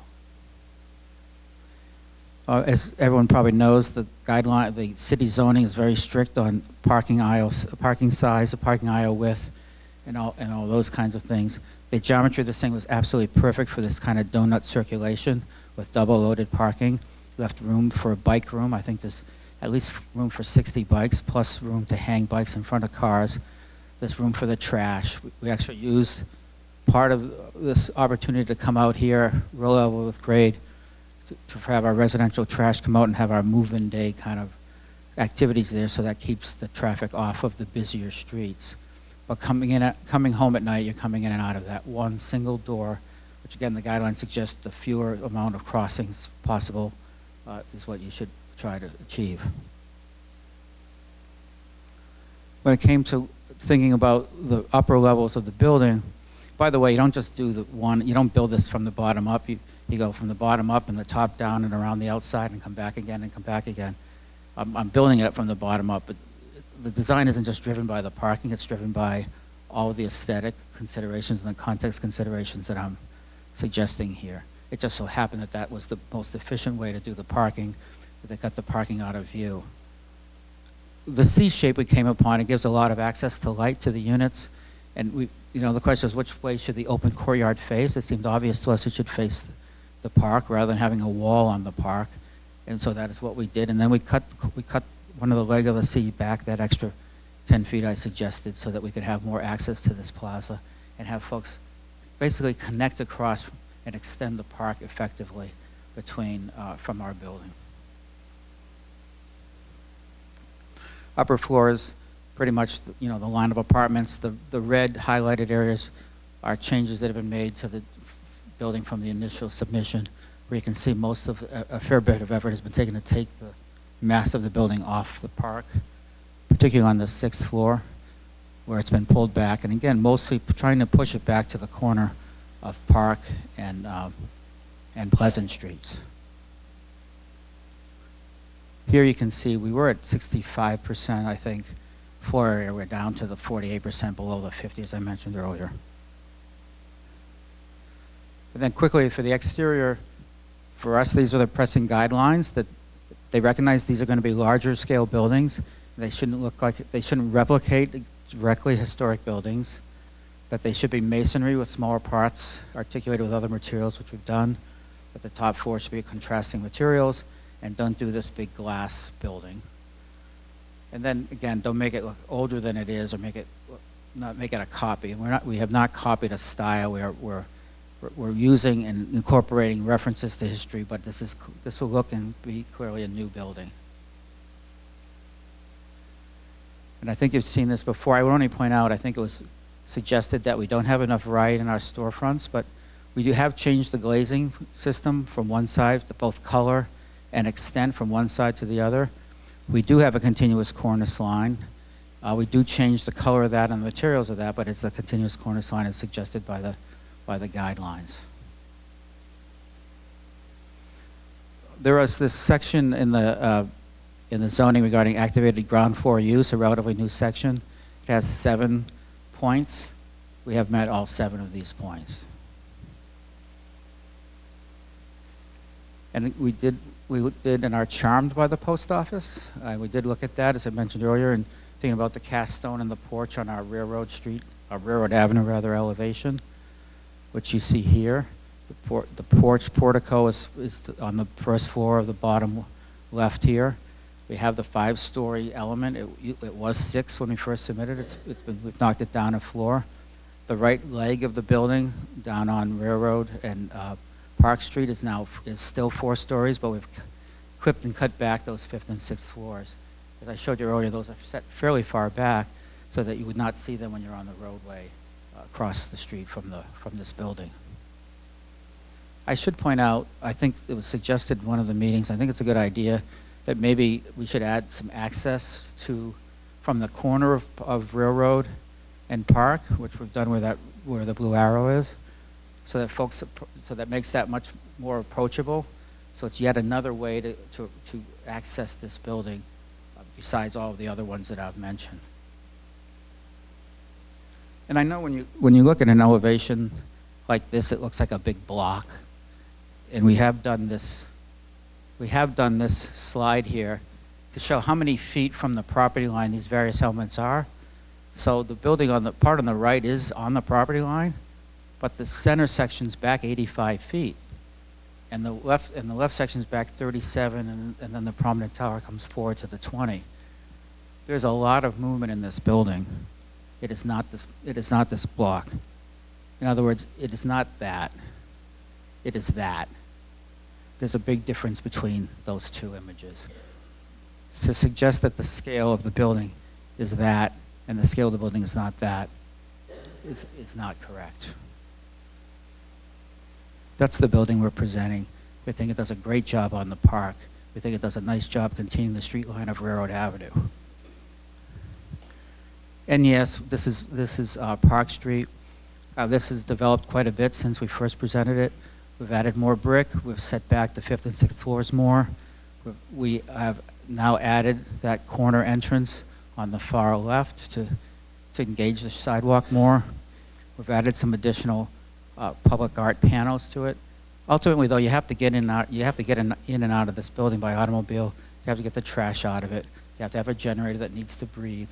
There's so many, there's, there's so many things, you know, that we have to provide in a building. There's only so many places to put them. We think we've done a nice job. This is not just ugly old concrete. We'll do a very nice rubbed concrete with proper score lines that work with the building. This is our suggestion of what we would do. When you're on the, when you're on the train, you're up at that yellow line that you see coming across. That's sort of the height of the platform. And there are some trees in the foreground that help take a little bit of the edge off. We are on, we are on the property line. There's not a lot of room for street trees and so forth on that lawn. And the slide on the right is, this is a photograph of when you get off the train, you're on that crosswalk and looking to the right. And again, the white uh, press box is at the extent of the brick that we have used here on the right, on the left on this slide.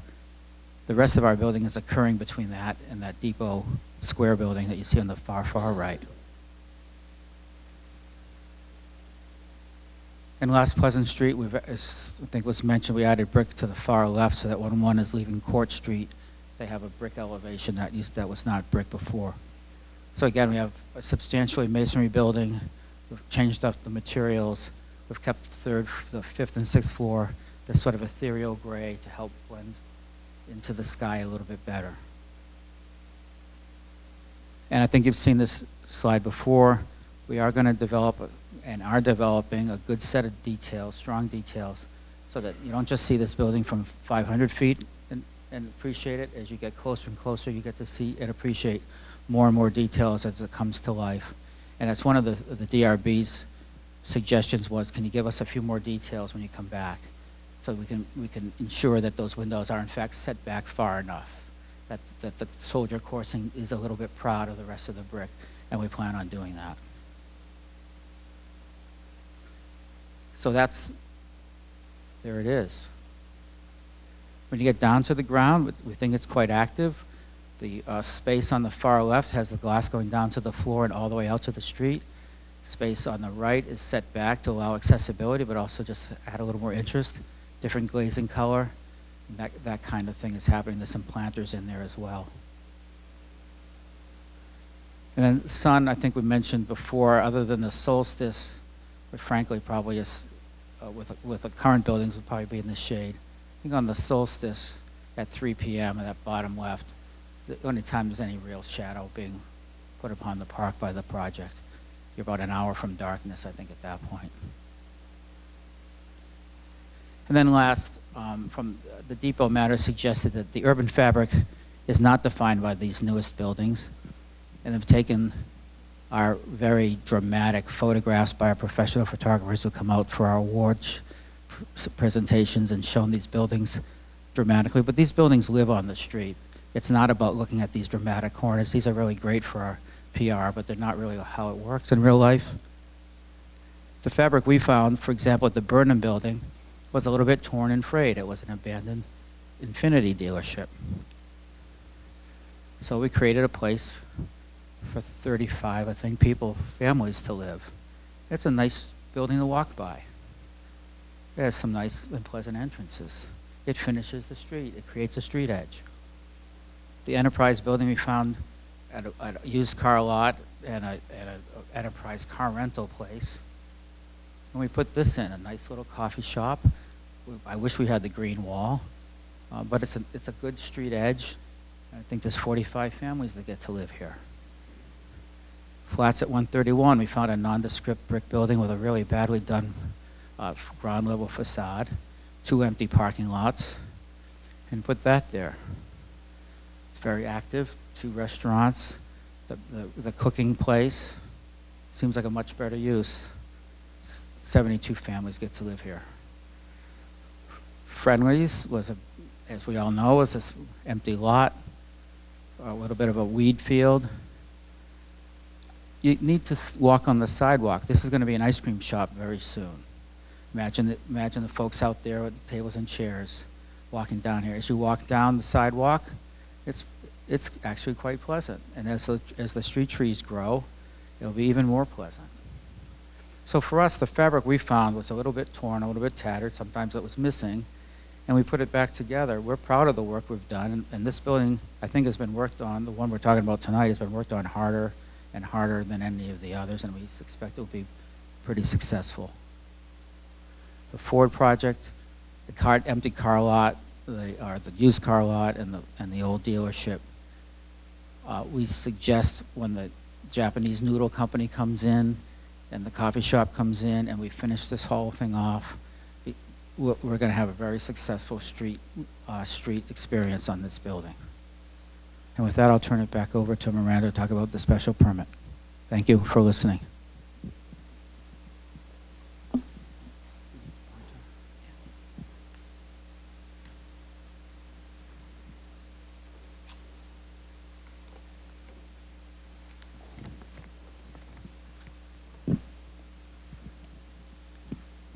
Okay, thank you, Thad.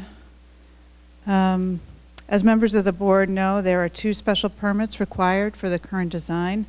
One to allow the building to have a height of approximately 73 feet, and the other is a special permit to allow a parking requirement of one space for all of the two-bedroom units that are located in the project.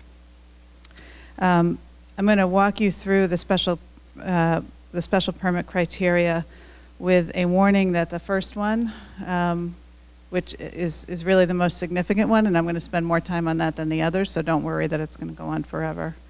Um, But the first, the first criteria, criteria is this, that the specific site is an appropriate location for the proposed use and that the character of adjoining uses will not be adversely affected. And if I were to wager, I would expect that this is the one that members will get hung up on the most. Um, th- This criteria really has two parts. One is that the site is at an appropriate location for the use, and, and then there's a second part, which does the proposed project adversely affect adjoining uses? So starting with the first piece, the appropriate location. We think the site is an excellent location for the proposed development. It's immediately adjacent to Beverly Depot and is located in various zoning overlays established to promote tall buildings with reduced parking requirements next to transit stations. It comes on the heels of more than 10 years of concentrated planning effort to encourage TOD development in the vicinity of the Beverly Depot MBTA station. And as you can see in this slide, it began in 2007 with a zoning amendment approved by this board as well as the city council authorizing the tall building overlay district, the special permit that we're here for tonight.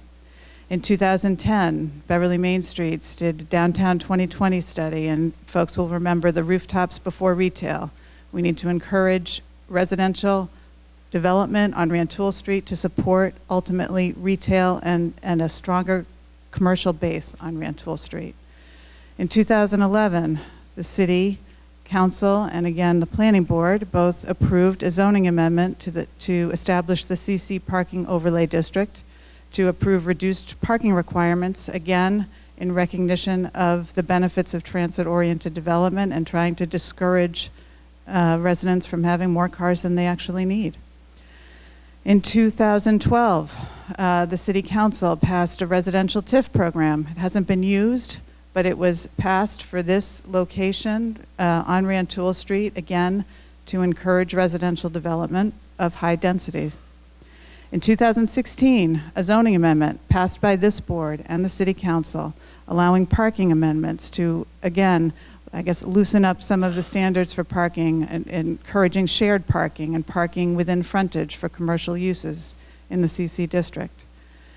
And then most uh, recently in 2017, the zoning amendment, again passed by this board and city council, that eliminated the special permit requirement for mixed-use buildings like this one located in the core pedestrian area with activated ground floor uses. And I would say that housing in general um, is certainly in keeping with the city's community housing plan from 2017, not to mention Governor Baker's well-publicized call for new housing throughout the Commonwealth. Not surprisingly, the city's housing plan includes recommendations for additional housing development near commercial areas and public transportation. The demand for this type of housing, particularly for seniors and for smaller households, is real and it's persistent. In fact, I'd like to take this opportunity to correct information that was previously asserted during the public comment period, specifically regarding the vacancy rates at Beverly Crossing projects, and, and even more specifically, the newest project at Linked 480. Uh, a member of the public commented that the project had not been leased after some time. In fact, throughout the Beverly Crossing portfolio, the total occupancy rate is 98.1%. The property at 480 Rantoul Street, the most recent one to come online, has been fully leased up since April of this year. And you should know that the turnover rate for these buildings is extremely low, only 37% compared to an industry average of 55%. All of this probably reflects the fact that over 28% of the residents of these apartments come from Beverly originally, and another 32% are coming from the adjacent North Shore area. That's the, the slide depicts some of those percentages. For many of these residents, Beverly is their community, and they want to be here. And um, despite you know, several comments that I've heard, and I suspect that others on the board have heard them, as this project has been in the public domain. Um, there, I've frequently heard that these that folks uh, worried that these apartments are filling up with transients. That Beverly is going to become another Lynn. Nothing against Lynn. Um, these numbers tell a very different story. Again, there is a need. There is a need among Beverly residents as well as folks across the North Shore. So, in conclusion, I would say that there are ample grounds for determining that this site is appropriate for the use and that there is a very real demand for the use in the city. Um, excuse me. I flipped ahead here too fast.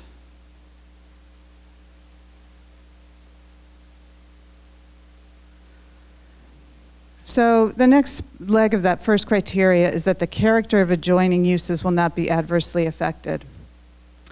And as I hope members appreciated from some of the before and after shots in Thad's presentation, the TOD development along Rantoul Street has really been centered on redeveloping parcels that had previously been underutilized economically, in most cases for at least a couple of decades, stretching back to when United Shoe closed and shopping malls really robbed main streets of some of the, the vital businesses that, that folks like Councilor Tributeris remember um, and have spoken about eloquently during these meetings. The pictures tell the story of new development, strengthening the tax base in the community and ensuring that Rantoul Street once again, once again becomes the commercial center that longtime residents fondly remember and want to see continued for themselves and for a new generation of residents. As a result, I'd submit that if you drive down Rantoul Street today, you'll notice that the underutilized parcels, the so-called missing teeth along the Rantoul Street CC district, have really largely been filled in. Or if they, if they haven't been redone, they're in the process of being redone. There's new investment, not just with big projects, but also with smaller building improvement projects for existing businesses. And this trend of improvement is positively impacting property values, as well as bringing new residents to support existing and new businesses up and down the commercial corridors on both Rantoul Street and Cabot Street, and encouraging a wider diversity of businesses, businesses and services for those of us who already live downtown. The proposed project will similarly help support this continued growth and revitalization, positively impacting adjoining uses in the district. But what about impacts on other uses in the National, in the National Register District? One of the products of these approvals and the redesign process that this building has gone through is that I think most of us can agree that the current building and its materials are now more compatible with the style and aesthetic of one of the more prominent buil- buildings in the district, the post office. And Thad alluded to this in his presentation. The design has also been carefully developed to reduce negative impacts on Odell, on Odell Park by keeping most of the mass at the back of the building. And we also believe that building a stronger ec- economic base in the National Register District will ultimately encourage more reinvestment in the remaining historic structures in the district, like the Beverly Depot building itself, or the Van Ness Creative Building, or for that matter, the post office, which now has had new life breathed into it by the close proximity of so many new residents, arguably contributing to the $1 million renovation that it's undergoing currently, instead of being sold off at surplus like so many other post offices around the country. We contend that this is not an accident and that it is evidence that the project will have a positive impact on the adjoining uses and properties in this district, even though, yes, it results in the loss of the Casa de Luca building.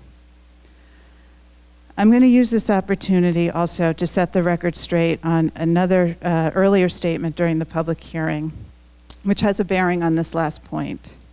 And um, Connor's going to provide members of the board with a copy of the full text of an email that was alluded to by Matt Pujo. The email is authored by Thad Siemasko in 2008 in response to an email inquiry from Mr. Pujo about his opinion relative to the MBTA parking garage, which was then proposed for the same site. And this email, um, we would contend, was, was quoted wildly out of context during the public meeting. While we pass out the entire letter for the board's benefit, I'd like to read a portion of it in response and, and this is in response to Mr. Pujo asking directly whether Thad thought the press box should be demolished to make way for the MBTA garage. And the response is this, and it, and it plays just as well today, honestly. Um, a significant part of an architect's job is to balance the focused passion each stakeholder brings to a project given the limits of budget, time, and the public interest in a way that makes the most of the opportunity. While the railroad hotels certainly have a distinct character and speak in an interesting way about being a different era, I do not think that their preservation outweighs the public good generated by a much needed, well located, in this case, parking garage serving mass transportation users. I think that a case can be made that the economic benefit provided by this project will spur the preservation of historic buildings in the area to a much greater degree than if it didn't happen. Perhaps if Beverly's history were solely related to the railroad, like some Midwestern, Midwestern towns were, I'd feel differently.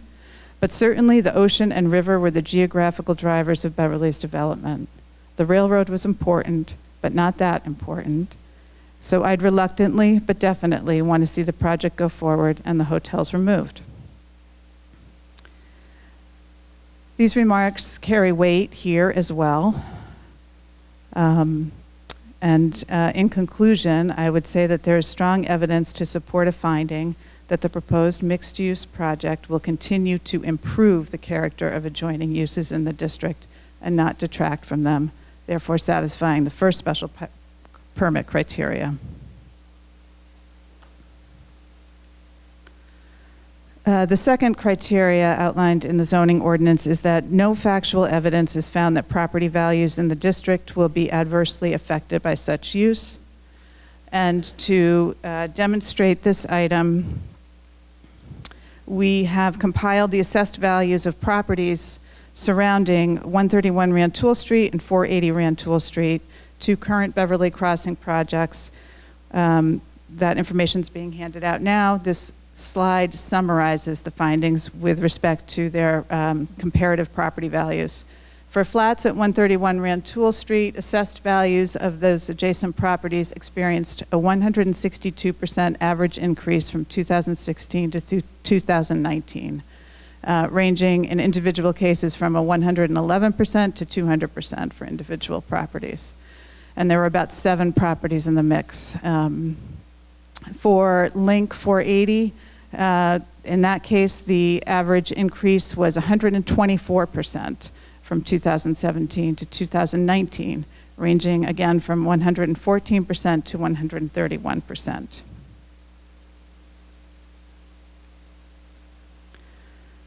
Moving on to special permit criteria number three, that no undue traffic and no nuisance or unreasonable hazard will result.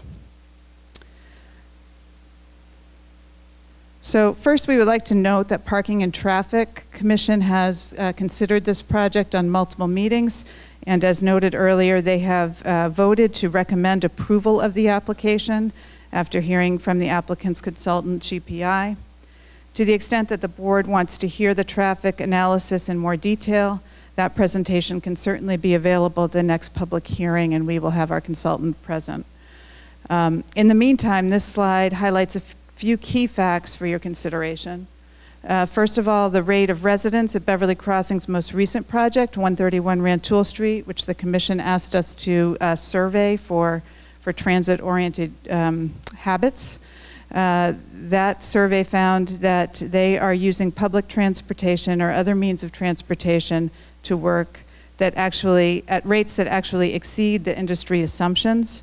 Um, so 28% of Beverly Crossing residents uh, report using the commuter rail, and another 5% walk, bike, carpool, or bus to work, for a total of 32%, excuse me, 33% of, of the population that relies on uh, other means besides their car to get to work, which is exactly um, which is exactly the goal of TOD development. Um, and as noted on the slide as well, Beverly Crossing is going to implement a variety of measures to encourage public transportation and discourage extra cars, TDM measures. Um, and I, I will say that, uh, again, we are happy to rely on the P&T recommendation or present uh, this information anew at the board's pleasure, but we feel that there will be adequate uh, evidence to uh, meet this criteria. Number four, that adequate and appropriate facilities will be provided for the property operation and maintenance of the proposed use. This criterion really asks the board to consider whether the project includes appropriate facilities to support the use. In addition to information stated in the application already, here are some of the considerations in support of that finding. First, all applicable fire and safety codes will be observed in the construction of the project facilities, and there will be ample access for safe, public safety and emergency vehicles. Um, secondly, there will be a, a whole slate of uh, off-site improvements that will be undertaken at the request of parking and traffic and, and at the applicant's suggestion to improve adjacent sidewalks and pedestrian connections to and from the project uh, Beverly Depot and the park. Some of these are shown on this slide. This is a representative slide. There's actually, um, so you can tell here, um, the applicant is going to be improving um, connections at here and here fr- from the project to the park, as well as uh, on Pleasant Street. And what you can't see on this slide is that there are a slate of improvements to uh, improve pedestrian actress, access down this side of Pleasant Street all the way to River Street. And there's also another set of improvements that are, are being proposed from Broadway to the park uh, and or across uh, Park Street. Um, and all of that will be reflected in the final parking and traffic recommendation, which um, I, I anticipate you will have shortly.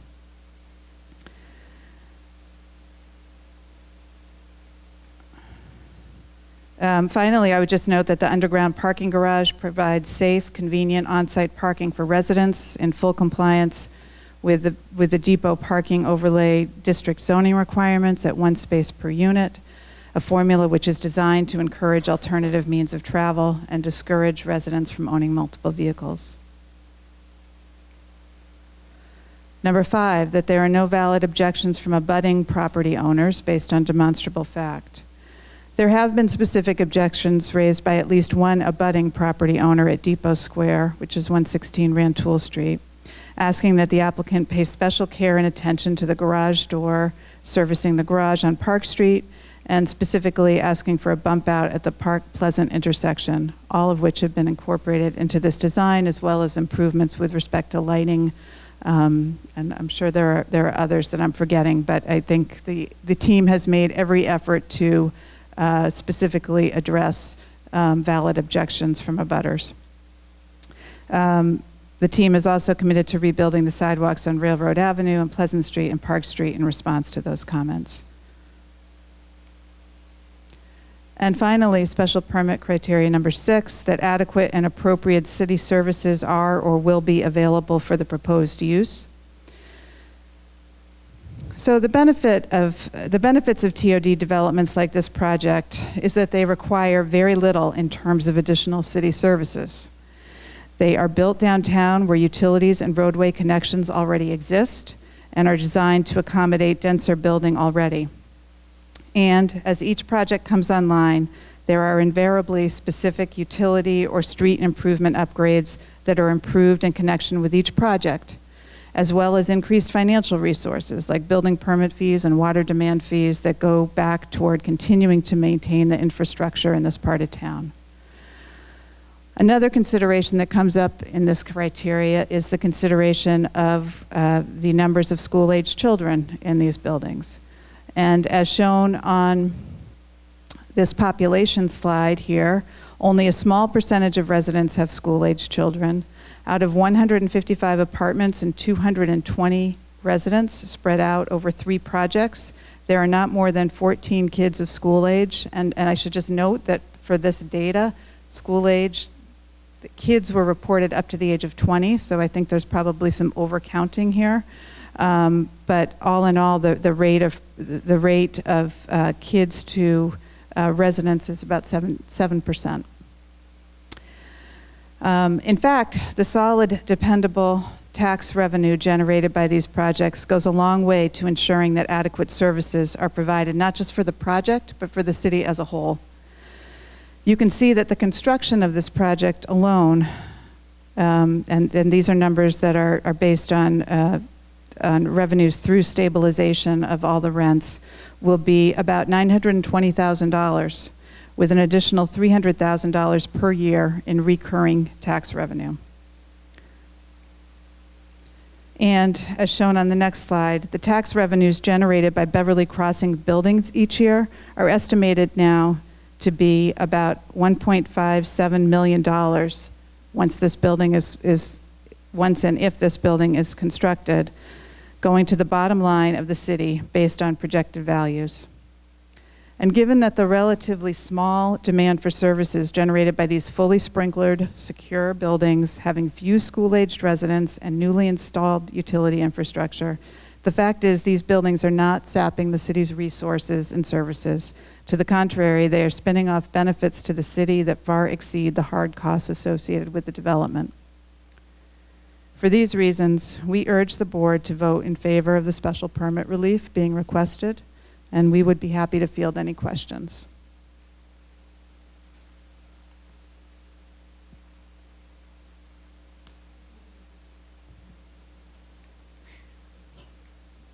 Questions from members of the board? It's been a while.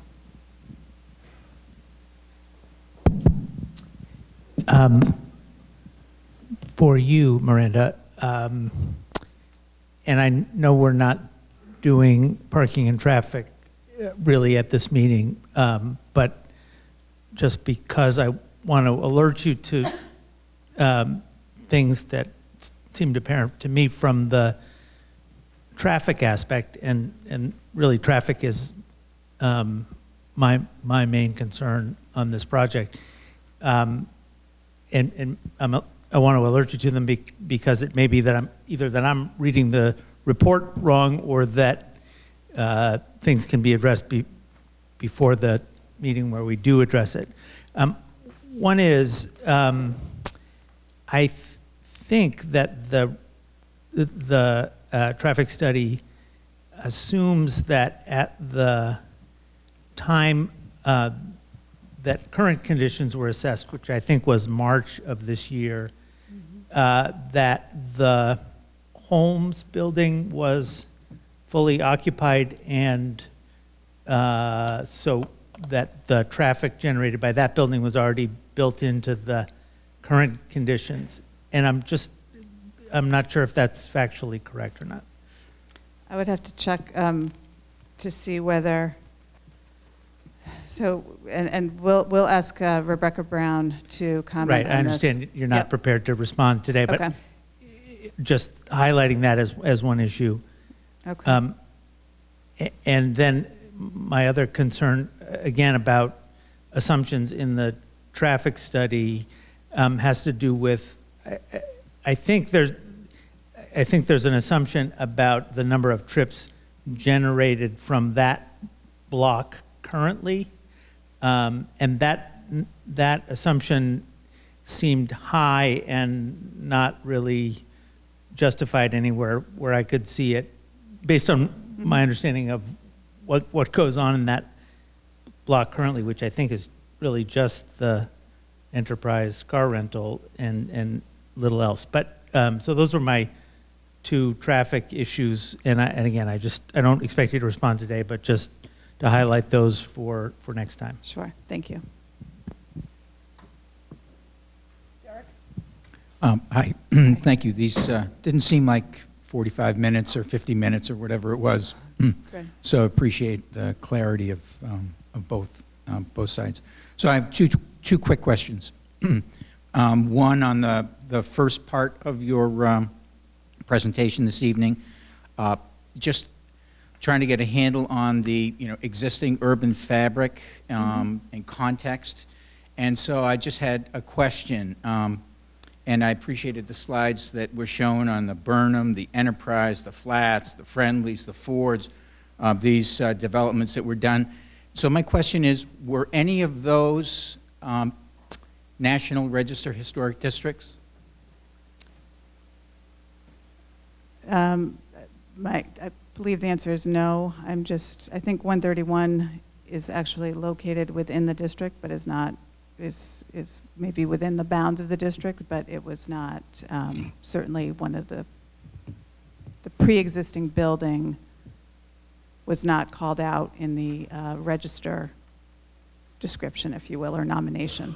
Okay, I'm just trying to get a Mhm. handle on the existing Yeah? context. Um, And then the uh, second question I had uh, is on, uh, I think it's uh, special criteria number five, um, in terms of objections from abutters. Mhm.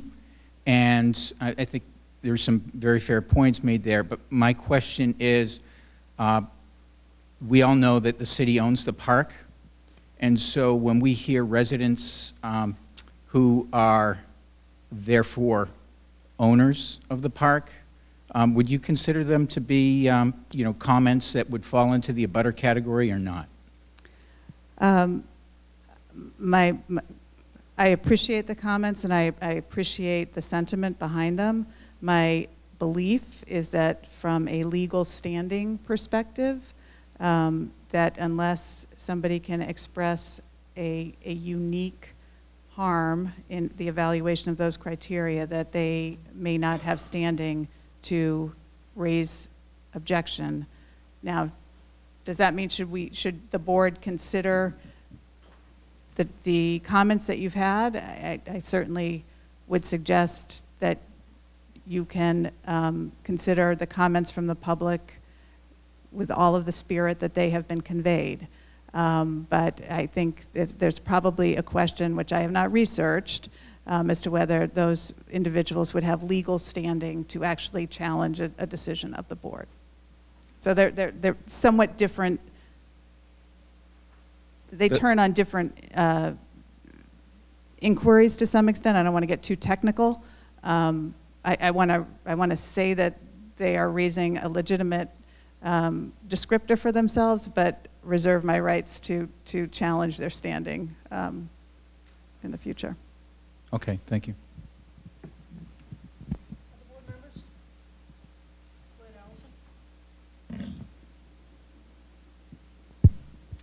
Go. Um, I appreciate the a lot of clarity that came from the presentation tonight, um, and I actually really appreciate the email that you shared because one of my questions was what the thought process around um, preserving or incorporating the current style parts of the buildings, as you've heard. Um, people are attached to the history. It means something um, to the public, and it means something to residents. And so, had there been any uh, early thoughts, discussions um, around how to do that, and what led the applicant to decide the best movement forward was to to um, start from scratch? Um, I will, I will answer it, and I, and I will, um, Thad may have some additional commentary. Um, and I, I will say this, we've said this in, in other forum as well. Um, the applicant has looked at saving this building. The applicant has looked at saving all of the buildings. The applicant has many designs that have been considered. Um, there are a lot of sort of functional and practical reasons that go into, that went into the determination to proceed with a new building instead of preserving some or all of the old buildings. Um, but I, I will tell you emphatically, we have looked at it. Um, I think for the reasons that Thad is going to describe, um, as well as sort of the philosophical leaning of the developer and sort of the approach and, and the belief in what we're doing here, um, the decision was to proceed with a new building and, and not restore. But I think that can put some, some better color on some of the practical considerations.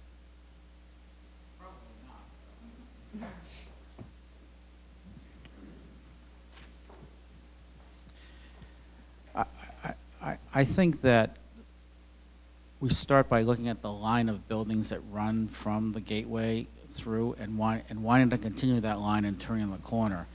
There are not a lot of small-scale wood frame Casa de Lucas size buildings on that run. There was one on the corner of Pleasant and uh, Rantoul on, on the other side of the street. Actually, we, we had a hand in restoring that building.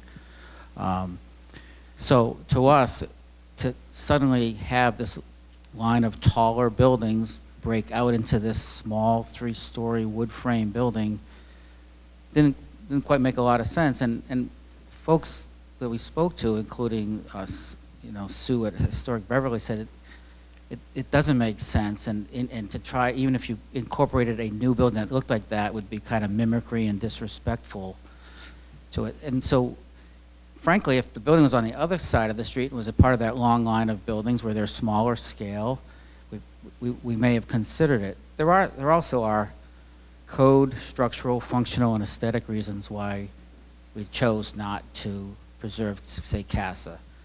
Um, the building's not, you know, the Casa is not accessible. To make it accessible from just from the ground floor in is would, would is a big deal. The entire interior of the of that building has been gutted. There's not there's not a stitch of original interior detail in there that that once you got into it, you'd say, aha, it's the railroad era hotel.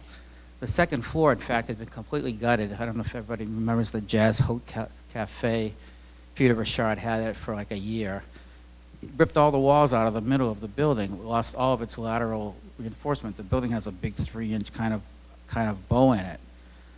Um, the exterior finishes themselves. Everything you see, except for the very top cornice, which is about a third of what was there, is not original. They're, they're mill glazed clapboards from the 80s. They're 1980s vintage windows. That panel work that you see is all out of plywood. It wasn't done well. It wasn't done properly. So it's not as if this building has this, this you know, integrity. And I can, uh, so there's, there's that part. Um, the floor-to-floor heights would be different than the building we have, so kind of trying to match that all up. The building has one means of egress. It can't have one means of egress. These days, the means of egress we have to put in is a 7-inch maximum riser, 11-inch minimum tread. These stairways start to get enormous. It's, it's just not particularly feasible to save the building. And then to have a wood frame building on, on top of, next to this building that we're proposing, which is a type one fireproof construction building, requires these massive firewalls to be built on two sides of it and over the top. It- it- When, you- when you're done with it, you, and, and- and, but, we- but more to the point, we do believe that continuing the line that the camps on Rantoul and turning it frankly rather tenderly around the corner to the park is, was the right approach, and, and that's what, and that's what we did. My credibility regarding railroad era hotels, my master's thesis was for a railroad era uh, uh, area in Ypsilanti, Michigan called Depot Town. I have an affinity for railroad era buildings. When I wrote Matt the email, it was because I, that town did not exist except for the railroad. It was a stop. Turns out to be also be where the Willow Run Bomber Plant ended up. But that, I- get it. Beverly, it's, someone mentioned it's the third settlement in Massachusetts. They didn't come by the railroad. They landed up the river. So that's why, if, that's why, it doesn't mean I disrespect the railroad history, but I just look at what we have here, and I just don't, I just didn't think the, the cost benefit was there. I look at all of what's happening on Rantoul now, from, from the Bootstraps building all the way down uh, the, the old Planters Pub. Those buildings are being restored now. I think it's a direct result of, of the work that has been done to improve all of Rantoul Street. I hope that answers your question.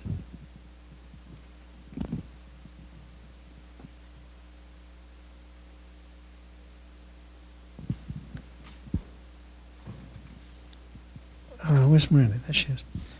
Um, This project is clearly a transit-oriented development, and I appreciate that.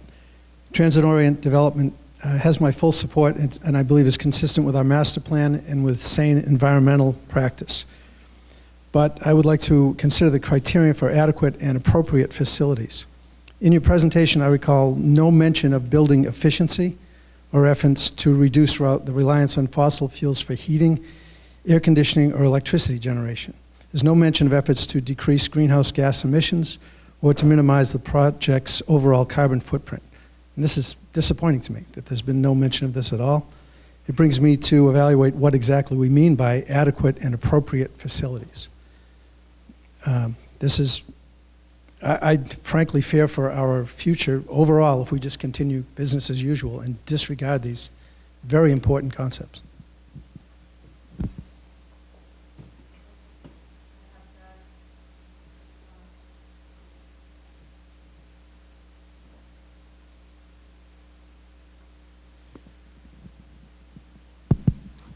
I, I certainly appreciate your, your comments, Mr. Miller, and the lack of focusing on these is, is simply a factor of, of trying to get the presentation out as quickly as we can.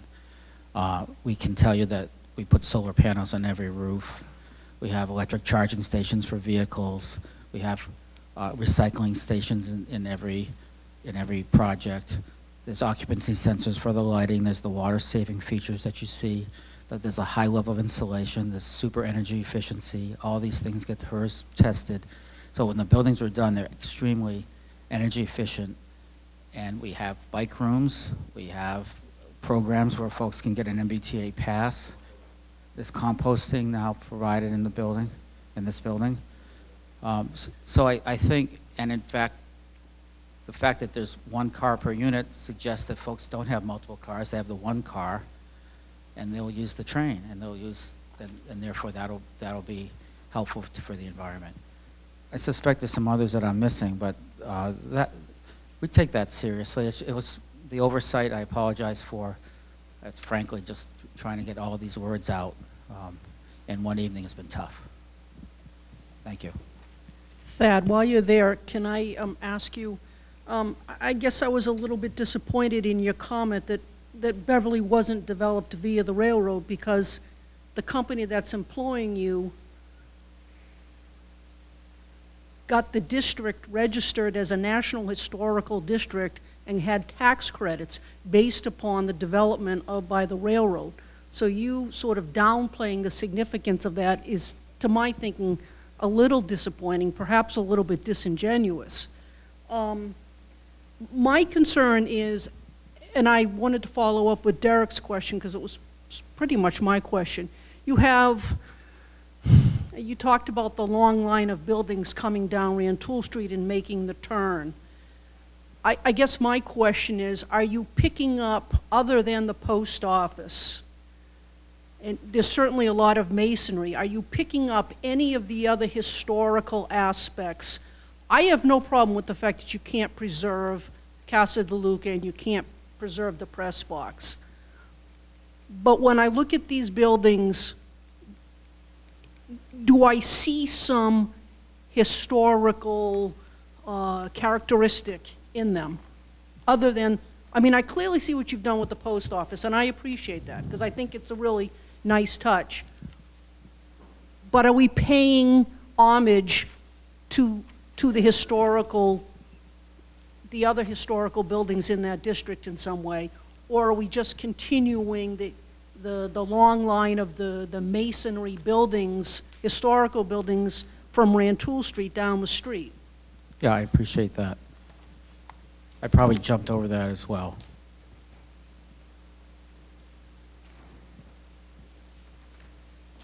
So this is a large-scale uh, portion of the building on Rantoul Street.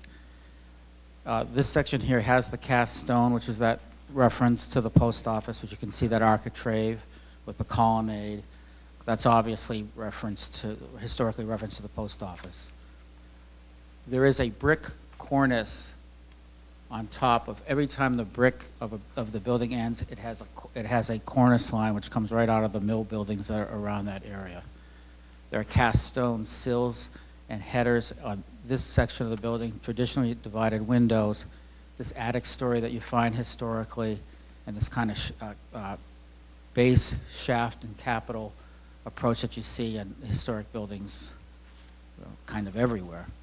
When you get to the section that's to the left, here we, here as we head toward, a little bit more toward the mill section of town, we have soldier coursed arches over, over the windows, uh, and brick headers here, that brick cornice that I mentioned, and these individual punched opening windows, which is, which is what occurs in the district. So that, that's where the history is coming from.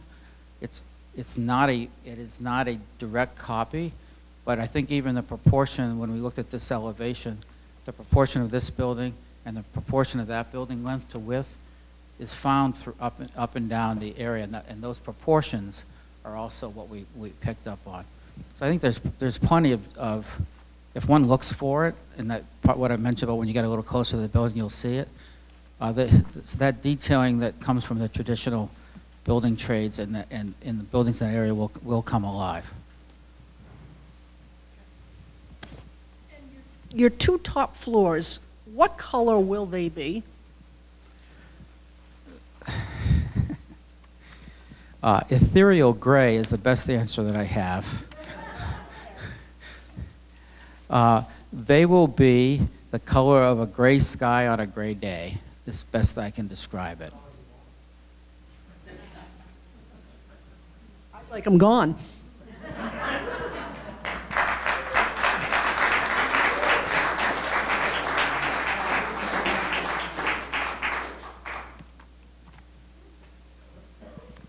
The, um, the plaza, what, what, what roughly is the square footage of the, of the plaza that will be available to the general public? Uh, I'm not sure I can answer that off the top of my head accurately. Well, we like to be accurate if we can.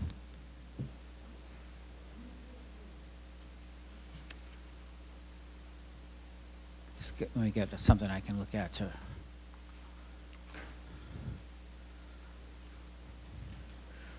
That's why Krista's here, right? Krista, do the math real quick. This is 20. This is 70, so that's 1,400 there. I think this is 50 by 90, 4,500.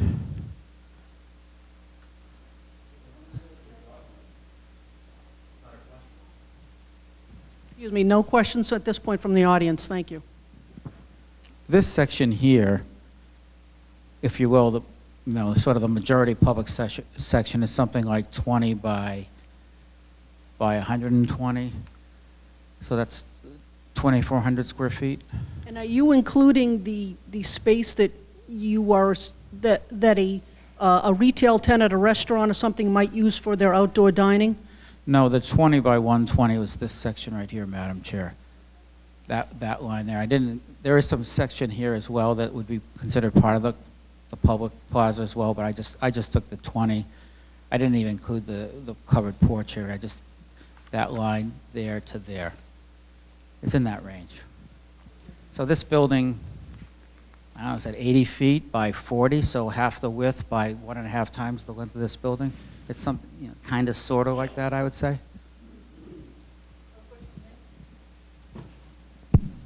While we're on this, just uh, of that plaza again, the overall, is that all impervious surface? Yes. Okay. Uh, the, there is a raised, im- impervious by the fact that there's, it's on top of the garage. I should probably slow down a bit. We have raised this section here and this section here with an 18-inch curb about the height of the stage and then mounded the soil so that we can, we can plant on it. So it will be planted, it will be green, uh, and rain hits it, but it ultimately ends up hitting a, a roof membrane and being drained away.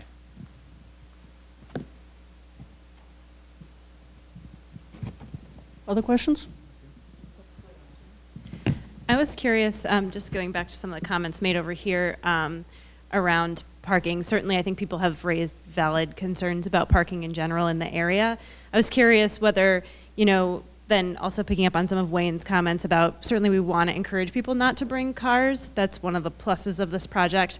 I was wondering if you've considered in any of your buildings, maybe all of your buildings, um, programs that would encourage people not to bring cars by either discounting their rent, subletting their unused parking spaces.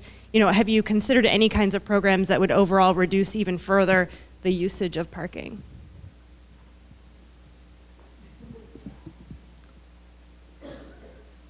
We could charge people to park and make it expensive so they don't have a car. That's one way that people do it in Boston, and they Or reduce a lot more money. or reduce their, you know, their rent if they were to not bring a car. I mean, I think you could either way. We hadn't considered that. We could consider that, sure. Yeah, we could look into that with our, with our management team, sure. Mhm. I guess my other question would be, you know, I think certainly recognize that um, the slides around, you know, we, it's it's great that um, you're able to say that the, um, you know, abutters are not seeing obviously a decrease in property values. You're seeing property values increase. I think we had some really helpful comments in the last hearing around um, the impact of luxury units on the affordability of, of other units in the city. You know, I think we know that already about half of renters pay more than a third of their income um, towards their housing, so affordability is a concern. And I just want to say how much I appreciate certainly the, um, the additional, you know, the other units that are sort of not on site but are part of this package. I think they bring a lot of value to the city, and I'm certainly really excited about the deeper levels of affordability that we're getting. So I want to say that for sure. Appreciate that. My bigger question would just be what your, I would just love to hear a little bit more about what your considerations are in, you know, the potential of adding additional affordable units on site, in addition to the great work that had already happened, whether that's in any world feasible for you to increase affordability on site. I think we're providing deeper affordability off-site at 50% and 30% AMI, deeper than the ordinance uh, requires. And I think Yeah, and that's what order- I- I in order- appreciate that. I'm order to be wondering if there was that- in order to be anything else to- on site. In order to be able to do that, that's, we don't have it here on site, so we're not considering them in this building. So it's not at all in con- under consideration. Not in consideration. Got it. Yeah, I think I'm good.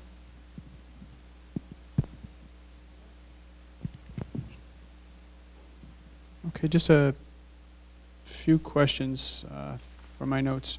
Can you just remind me, was it, how many parcels is this, was this uh, before the proposed project?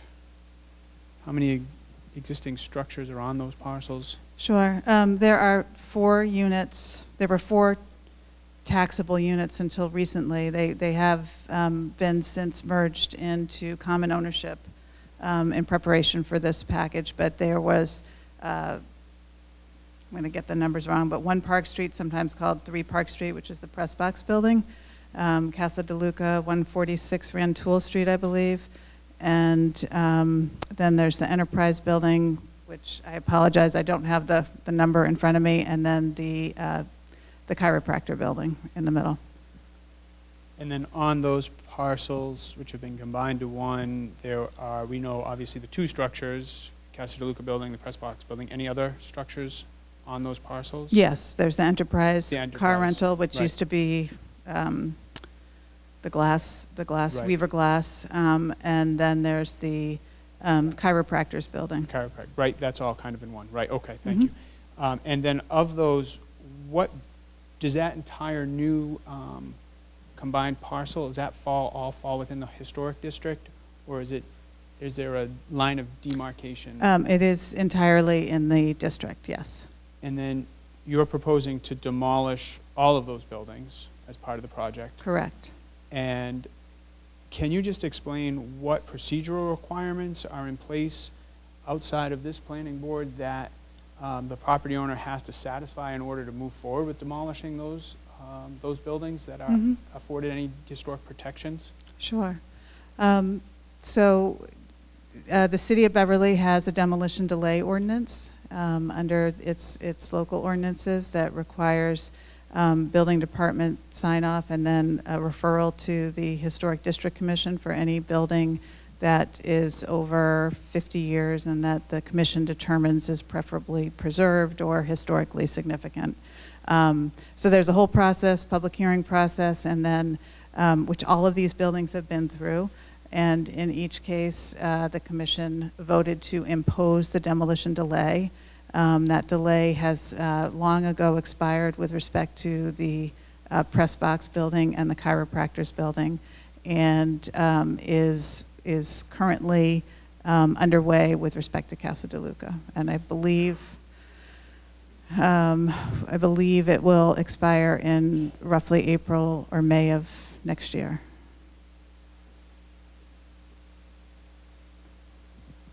And before construction can begin, you have to, that specific delay has to expire April, May, whenever it's Correct. coming. Okay. And is that the final step before demolition can take place with respect to the historic uh, nature of the parcels? Well, the, the time has to expire, as well as um, the ordinance reads that in order for the building inspector to then issue a new permit, there first has to be an approved plan for what is going to replace it. So that, and that is to pres- prevent people from just going down and knocking down the buildings as soon as demolition delay has expired without having a new project to go in its place. Great, thank you for that. Um, With respect to the design, the design aspect, I mean, first, I, I just want to say to Thad, you know, I, I really do think you should be applauded for the amount of work you put into this project. I've been on the board for a while now, um, and it really seems to me, from my perspective, there's more work has gone into the design of this project than any other. Um, and a lot of the complaints that, that we have heard have been subjective. Um, I think some of them have been rather unfair to you. I think you should be applauded for your work. People may not um, aesthetically agree with you, um, but I do think that no one can deny the amount of work you put into it. So thank you for that. Um, that being said, I want to discuss, you know, my concern, uh, I think, with respect to the height and the height ordinance for the city of Beverly. I've voiced it before on other projects. Uh, it's relatively well known. Um, I understand what you're doing to try to um, comply with the tall building uh, ordinance and what you're trying to do visually uh, to mitigate the height of the building. Um, my other concern is really the density, the feeling that we have these multiple parcels merged into one on which a large building is going to sit. And I'm just wondering if you could just highlight for me um, ways in which the design attempts to minimize the, the density and, and then if maybe we can look at some areas of the project and my question would be, can some of those attempts being used in the courtyard area be carried over to any of the other aspects of the project?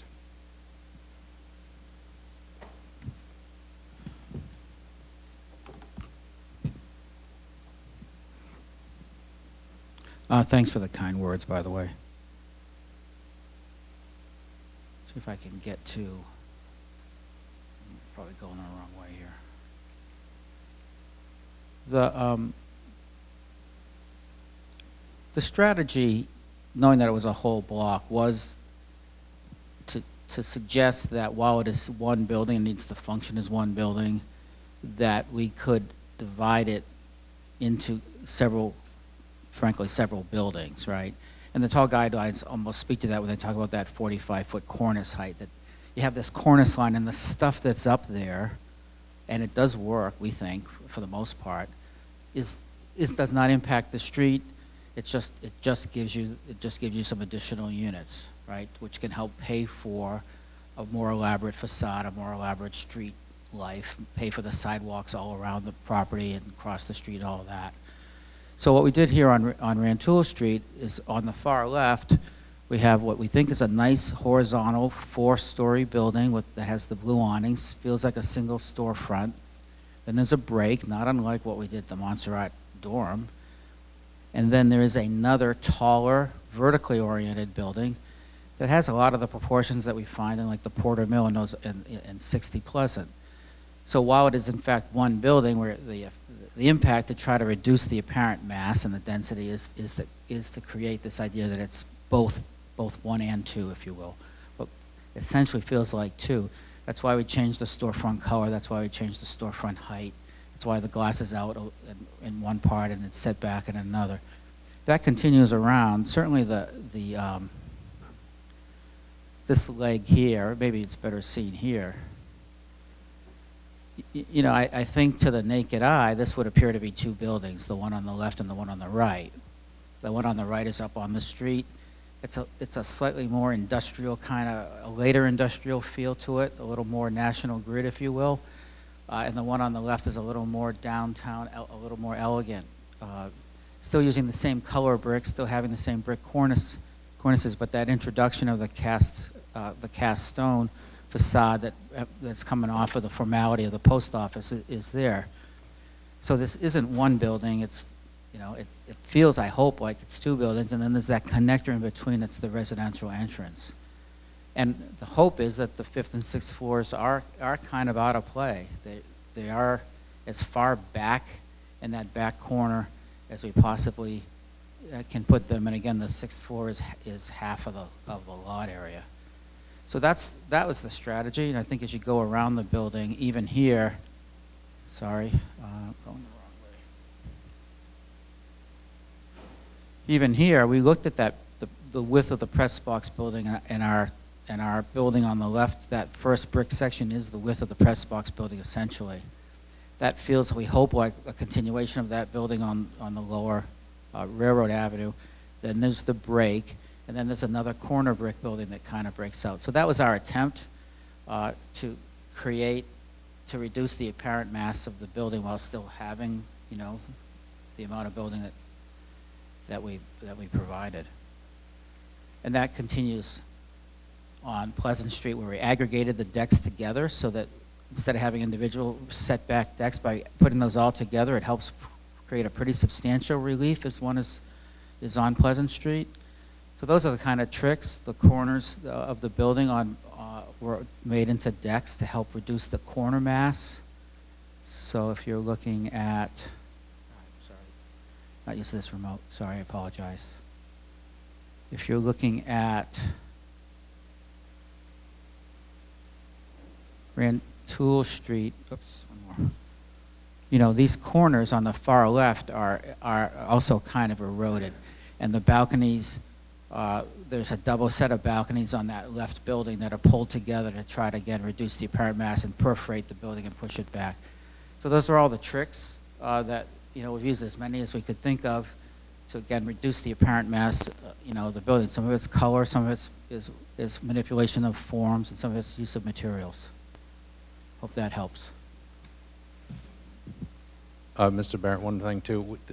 We have 12 studio units in here, so while it sounds like uh, a higher density number. These are smaller units, and that seems to be what folks demand so that we can try to reduce the rent for folks getting an entry level into these kinds of, uh, of buildings that have these kinds of amenities in these areas. So that's another thing that it sounds like a big number, but the one bedrooms and the studios uh, help uh, with that calculation.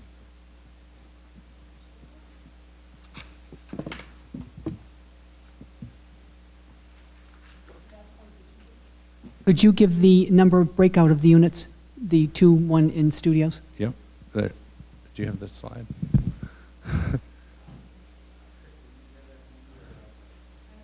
I think it's 12 studios. There's one one bedroom den. 80 81 bedrooms. Two one bedroom dens. 17 two bedrooms. Likely have two baths. That's,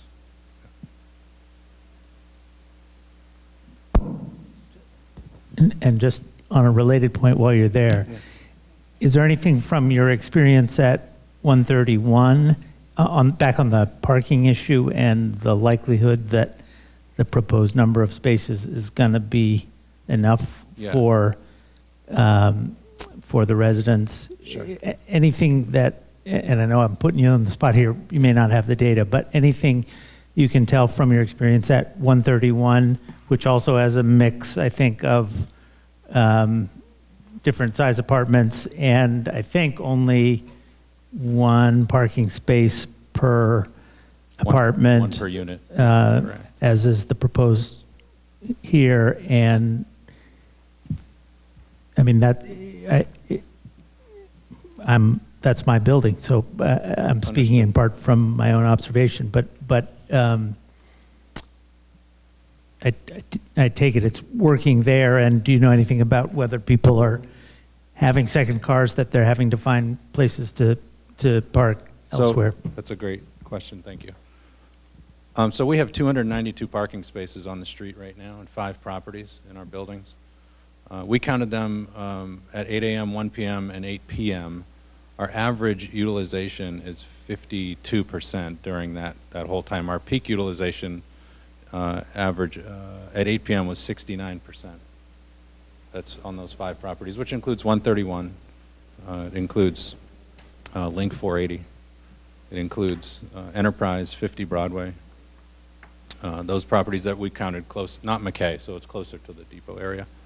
Uh, your question about flats. So the garage uh, on average is 51% empty, and the surface parking, there's 36 spaces in the back, those are 58% uh, generally utilized. uh, in that. So yes, it seems like most spaces are going not utilized on average.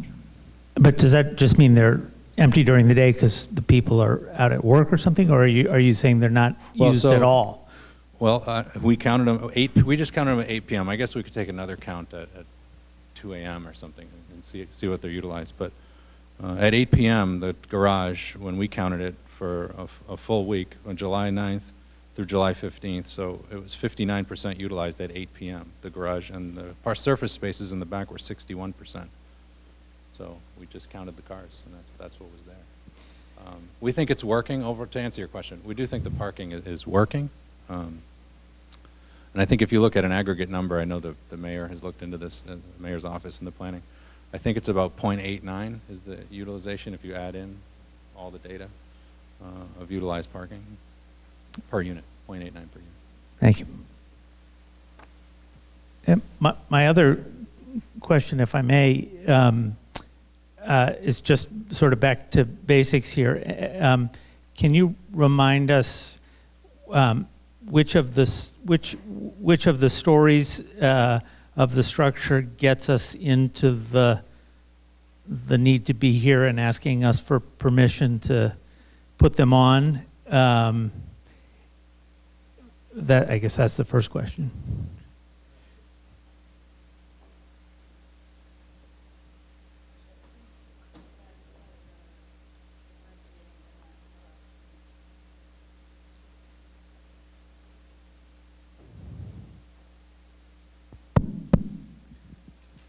Uh, The cutoff is 55 feet.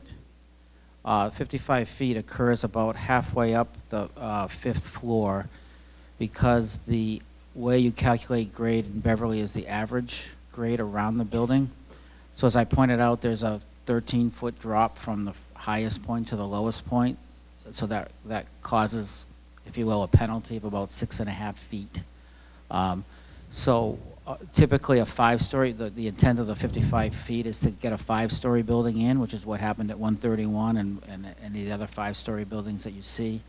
But because, uh, because of that penalty of the, of the slope on the backside, uh, the 55 feet runs through, as I said, roughly the middle of the fifth floor here. So am I, am I right to put that sort of another way? If you wanted to build a four-story building um, and put a parking lot out behind, you wouldn't be here and we wouldn't be, you know, critiquing the cornices and, and, uh, uh, and, and all this stuff. I mean, the, the fact that we're able to do this is just, is, is, is purely, there's a lot that the landowner could, the, the owner of the site could do on this property, which we'd be much less happy with, I guess is my point, and would have no say whatsoever over, uh, you know, but for the, the couple of, couple of extra stories. Um, We would miss out on all the fun, though. Indeed.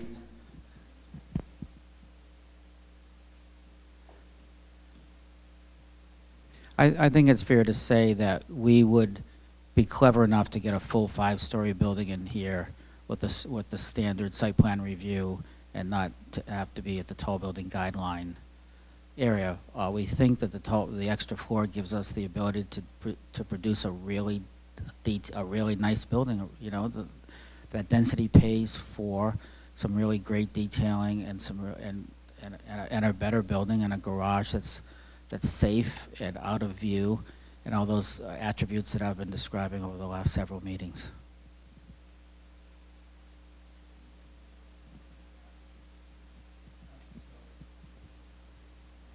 Three, there we go. Um, So just a a couple of uh, follow-ups. Um, One, um, in terms of the condition of the Casa de Luca building?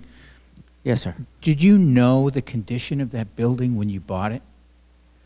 Well, uh, fortunately, I never bought it myself. Uh, Well, you know what I'm asking, right?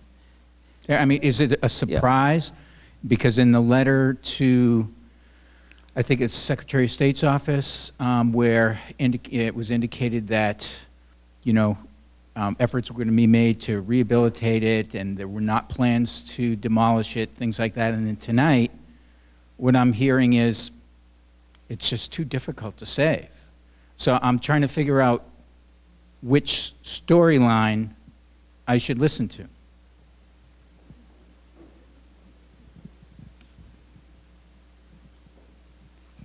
Um, I think, first of all, I just want to clarify, and, and I re- recognize that this is a distinction perhaps without meaning to members, but I think it's important just so the record does not get more muddied. Um, the building that was the subject of the correspondence with the Secretary of State's office was not Casa de Luca. Um, it was the press box. Um, so I, I just want to be clear on the record with respect to that. Um, and um, as to whether the condition was known, I believe that there was a rough idea about the, you know, it, it doesn't, I think the condition of the building can be largely discerned from an outside visual inspection as to the, the extent of the bow, for example. Um, and I think that members, um, that the developer certainly had been in the building and, and understood that it was in uh, perhaps not as bad shape as the press box building, but um, not too far removed from it.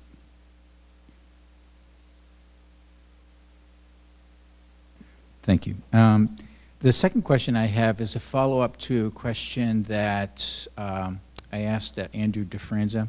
Um, Mhm. uh, And I think you were here for that meeting where uh, I was asking about the situation for what's traditionally been an area uh, very affordable to moderate income people, uh, say between Cabot and Rantoul. Um, something that's a little close to my heart because when I first moved to Beverly, when my children who are now in their 30s were in the single digits, it was um, to an area very similar to that on Pickett Street and was Mhm. able to live in an apartment in the first floor of a nice house with a little yard, et cetera, et cetera, because it was affordable and within reach. It wasn't in, you know, it was, it was within reach for a family. So um, when I asked Andrew whether he was concerned about upward pressure on rates, uh, rental rates, um, he indicated that there was some. Now, there may not be scientific information collected on that yet, but I'm curious about two things. One, because you've identified that this is a very expensive project, and I certainly appreciate that, um, that there must be a cost analysis that's done, certainly for the taxes and all the other stuff, terms of what the expected rental rates are for each level um, studio, one bedroom, two bedroom, and how that correlates to the 30% income level for families, um, 30% of income to pay for rent. So I'm just trying to figure out how much over that threshold you anticipate um, the units within the uh, uh, proposed project are. Uh, Chris, do you, I would expect you have an anticipated rental range, but, but we can certainly come back with that information at the next hearing. Um, I mean, obviously, it's a, it's somewhat a stab in the dark, at, given where we are in terms of um, the project actually coming online.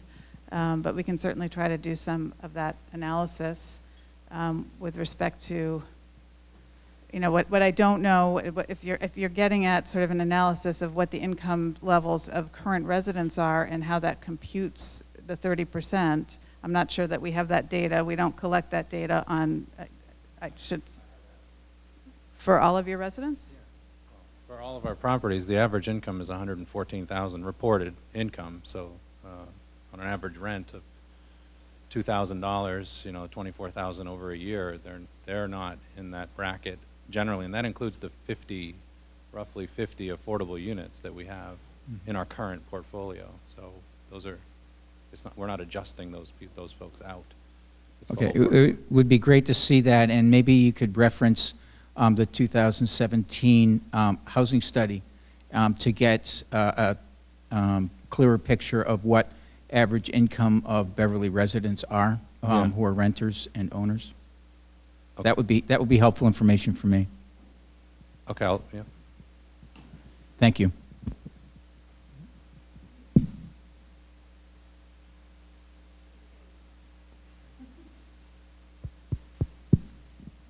Okay, our next public uh, hearing is scheduled to start at 9:45. So, uh, if- in- with the board's uh, approval, my suggestion would be that we continue this public hearing to our October 22nd meeting. We can finish up any questions uh, related to tonight's uh, topic, and we'll address the parking and traffic that night. That would be great, thank you. Uh, Motion by Mr. Barrett, seconded by Ms. Flannery. Discussion? All in favor? All opposed? Motion passes. Thank you very much. Thank you. I would also... Yes. Okay, let's, um, can I get a motion to recess uh, until uh, bu- bu- bu- bu- 9:50? All in favor? All opposed? Thank you. We're we're in recess. For members of the audience, members of the audience, if you're wondering what, and I apologize, I should have explained it, I just wanted to get it under the wire. Um, We have to start our next public hearing at 9:45, and so that we can all get home at a reasonable hour tonight versus midnight the last time. Um, We're going to keep to that schedule to start our next public hearing at 9:45. This public hearing will be continued to our next meeting, which is October 22nd. Parking and traffic will be discussed that night, and it's anticipated that members of the public will have a chance to ask questions and comment that evening as well. So thank you very much. We're in break for about five minutes. Thank you.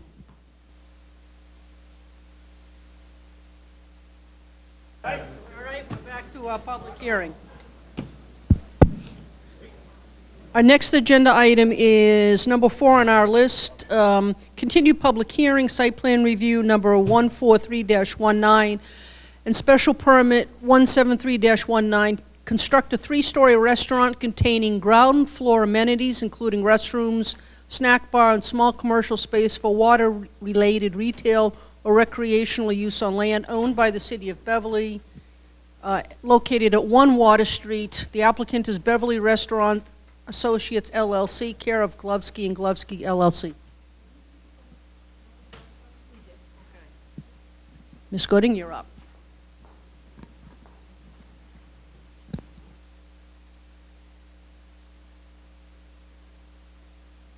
Uh, Good evening, members of the board. Again, Miranda Gooding. Um, And on behalf of Beverly Restaurant Associates, we have a a team here this evening, starting with Marty Bloom, who is the principal of the applicant and uh, the developer, proposed developer of the restaurant.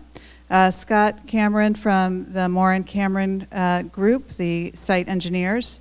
Um, Rebecca Brown from GPI and her colleague Doug Halpert, also from GPI, who are the traffic consultants on this project.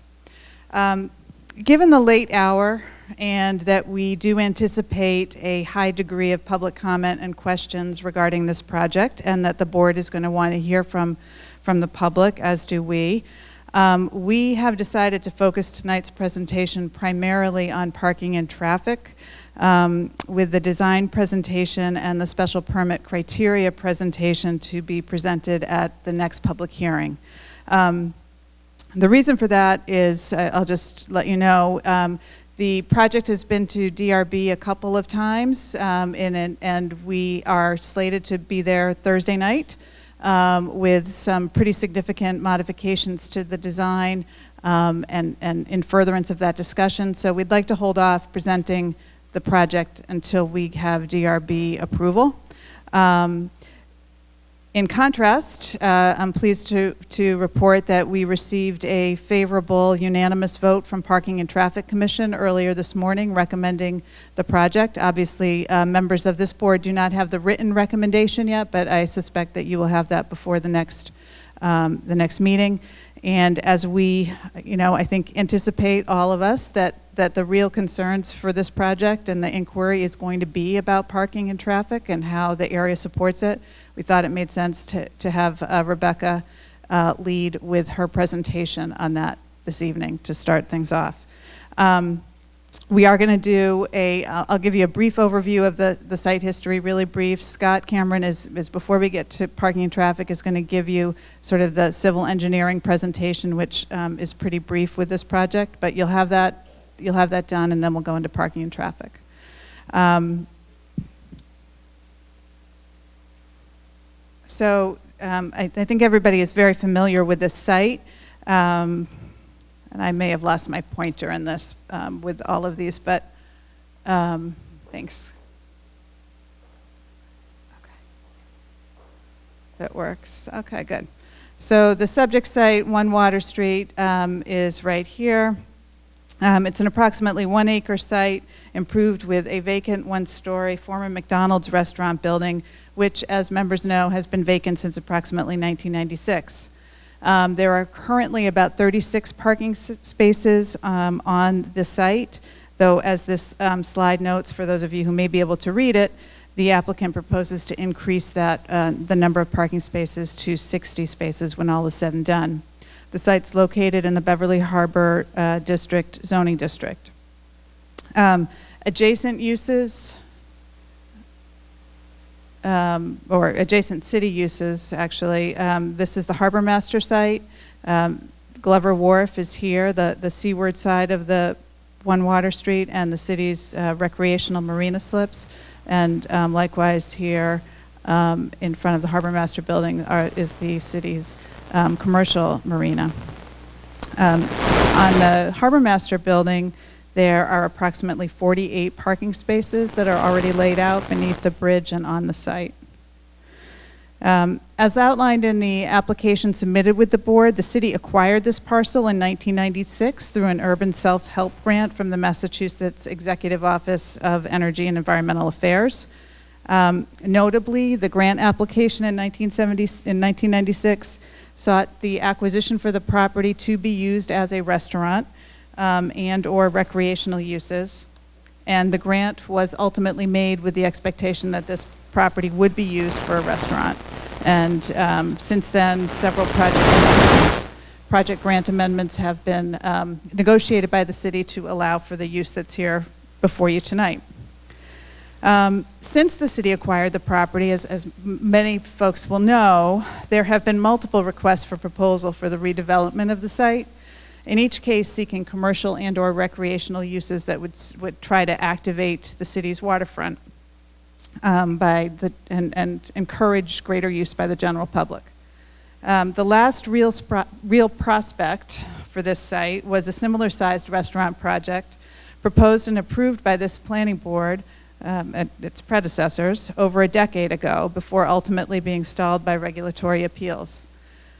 Mr. Bloom's proposal was selected as the winning proposal in response to the most recent RFP in the fall of, 19, of 2018.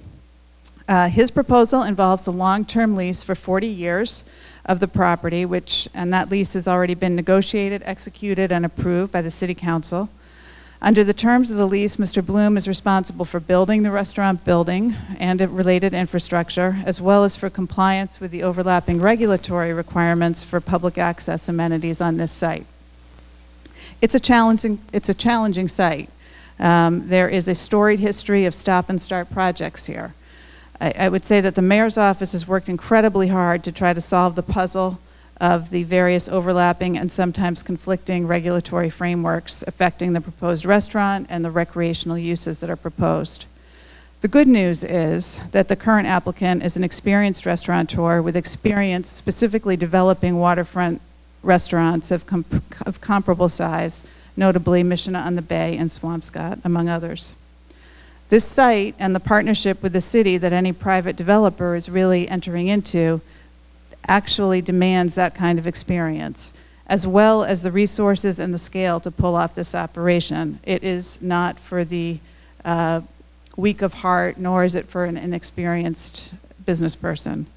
And I think that these considerations will arise later in the context of the board's special permit considerations. Um, Finally, before I turn this over to uh, Marty to, to say a few words, I just want to run through some of the other permits that are required for this project besides planning board site plan review and special permit. Um, There is a notice of intent uh, requirement to be filed with the Conservation Commission, and that has already been done, and the public hearings have already opened on that application, and Scott can answer any questions that the board has about those proceedings, but they are running in tandem, we expect, with, with this board's deliberations. Um, Similarly, we will be filing for a Chapter 91 waterways application with Mass DEP to allow a non-water dependent use on filled tidelands. Um, And we will be filing an ENF with MEPA for a preliminary project review of the environmental, environmental impacts of this project. Um, And as I said, uh, we've already uh, obtained parking and traffic recommendation earlier today and are, are making our way through design review board. So I think that, that sort of gives you a view of where we are um, in the process. And with that, I'd like to um, ask Marty to introduce himself and, um, and then we'll turn it over to Scott. Thank you all. I am Marty Bloom, lifelong restaurant guy. Been doing this about 40 years. This should, I think, is either the 31st or 32nd restaurant that I have been involved with. This is all I do. Um, probably best noted for uh, starting and, uh, and developing the Vinny Testa's chain, which was all around the region for quite a few years. We had 11 of those in three states. And uh, this project uh, just kept on creeping up on me, to be honest with you because you do need somebody very experienced who, who knows how to get their way through all the all the different uh, different boards, which I have a lot of uh, a lot of experience doing it for a lot of years.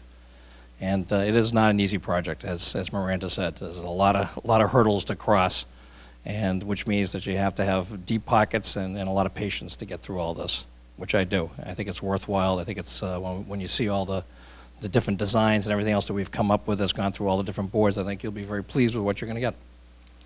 So I'm here to answer questions and so forth. As I said, we're going to get through all the design stuff, and I'll explain to you more about the operations. But As you know, we have two restaurants here. We have Mission on the Bay in Swampscott. We have Mission Oak Grill up in Newburyport, and I own two Mexican restaurants also in Boston called Burro Bar, one in Brookline, one in the South End. So those are the four restaurants I'm operating at the moment, and this will be the fifth.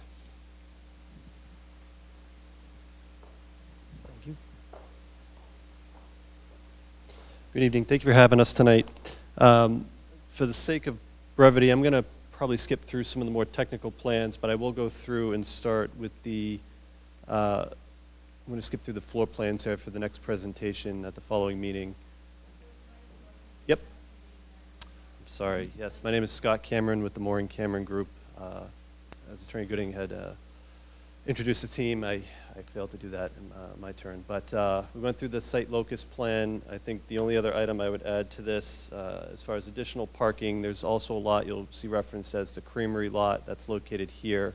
In this plan, your packet indicated uh, the walking routes to the site, uh, either under the bridge directly on the board, boardwalk or cutting across the crosswalk in the intersection. I'm sorry? There'll be 24 additional parking spaces added to the site, and I'll go through that. Um, in the presentation uh, of the plans, uh, on the cover sheet here, you'll see the drawing index. I'm happy to answer any specific questions you have about these plans. I'm going to skip through to the site layout plan, which will illustrate the parking, and then go through the grading and drainage plan. That's probably two, usually the two focal points of our presentations. Uh, existing conditions, this is the erosion control plan, and we come to the site plan. Uh, so this is the uh, horizontal uh, configuration of the development proposal.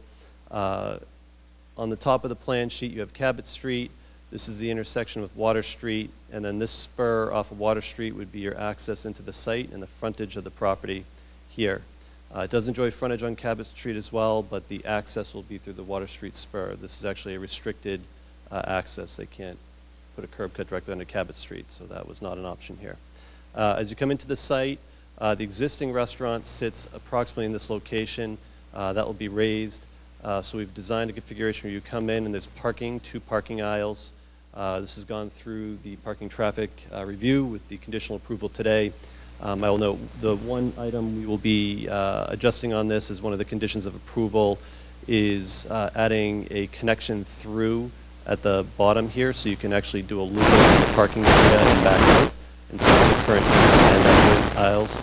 Um, until I 60 spaces on the premises. Uh, this is an increase from about 36 on the site now. And uh, access to the lobby of the building will be in this portion. So there's parking and walkways along the entire front of the building to get people in. And then uh, you will have other access points on the back side of the building. Uh, a big focal point with this design being a waterfront project was the pedestrian access to the site. The vibrancy of the, of the waterfront, really connecting that to adjacent waterfront uses. Uh, directly next door to the property is Ferry Landing Park, and this has uh, a sidewalk with stairs that comes down from Cabot Street and kind of winds through down to the, the pier in this location. Uh, as part of the project proposal, we are proposing a, another stair connection, uh, which needed for the grade change, but just another route that brings it towards this site here, so people have an option to go towards the harbor master or towards the site here. This will improve flow down perpendicular to the waterfront from the street uh, to the main wharf area. Same on this side, we're proposing a new crosswalk, handicap curb ramp, which doesn't exist now, and a new 10-foot wide walkway that extend all the way down and connect to the walkway that runs parallel with the waterfront on the adjacent property and then also connect you to Glover's Wharf in this area.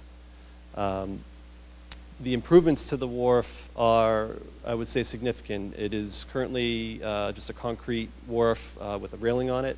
It transitions pretty quickly into a gravel area. Uh, people are parking. There, there's a little fishing off of it. Uh, and then you have slips for the boats right off of the wharf here. Um, I, in a meeting yesterday with Captain Holleran and uh, several fire department staff, they actually did indicate that they tie up the fireboat right here off the wharf, uh, which is why one of the reasons why they, they were not concerned with being able to provide emergency service to the building either from the water or from the street side. And we had a favorable letter uh, recommendation from them received yesterday. Um, the proposal is to raise uh, a pavilion up in this area in front of the building. Uh, this will be for outside seating, uh, breakout space. This is all public area. uh, portable furniture, so chairs and tables and, and areas where people can, can sit and relax and be on the waterfront and enjoy that amenity. It's handicap accessible. There will be a small landscape uh, area in front of that and the existing concrete wharf. Uh, there will also be uh, stair connections on each side of it. And the other important aspect of this, uh, as you will see in a future presentation, is the access to the waterfront uh, retail and other amenity spaces that will be incorporated as part of this project on the ground level. Uh, we did go through the floor plans, but I'll mention briefly that there will be a ground level snack bar, uh, drink bar, retail space, uh, which could be for uh, some water dependent use, uh, surf shop or whale watch, or it's not programmed yet. But all those amenities will be directly accessible and directly oriented towards the waterfront. And so our intention with the design was to maximize the waterfront facing portion of the building, which is still not that wide, um, to optimize that interface with the, with the, with the waterfront uh, compared to other alternatives which had a, a different building more orientating towards a parking area, not necessarily towards the waterfront. So it was a big emphasis, and we also moved that building uh, down towards the waterfront to make sure it's engaged. Uh, we're currently under review with the Conservation Commission. We'll be before them uh, on Tuesday uh, with our second hearing with them. I will also mention that solid waste will be within the building, so the dumpster uh, will be in the building and accessed uh, in, in the morning hours for pickup and removal. And there will also be two covered parking spaces also open to the public uh, just under the building. On the grading plan, uh, I just wanted to note uh, the engineering department, we did receive comments back from them today. Uh, I would say that the letter we received is perfectly acceptable. It was more just specific detail on how they wanted the operation and maintenance plan to be written. Uh, they did ask us to include a snow storage area, which I anticipate will be at the uh, northerly end of the site in this open easement area, which will just be loamed and seeded, uh, and the, the obvious push point for snow. So we'll, we will make that adjustment.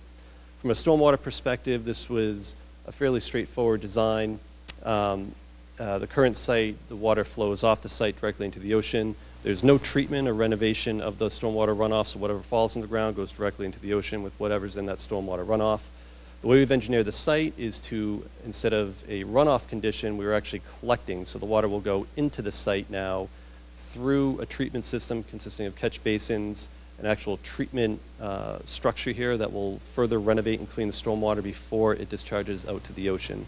So this is a considerably better uh, condition than what is there now.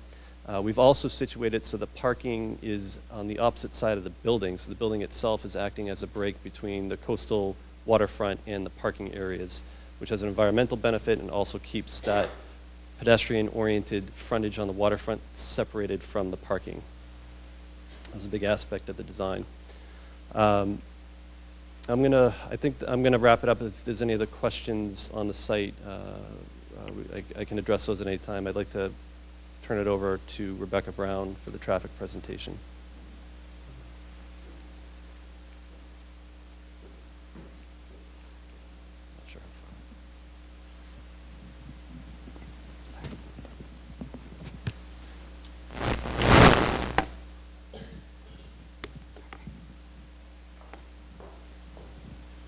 Uh, good evening. Uh, for the record, my name is Rebecca Brown. I'm here with Greenman-Pedersen. Um, did, did you say you needed the address as well? Okay, it's um, 181 Ballardvale Street in Wilmington, Massachusetts.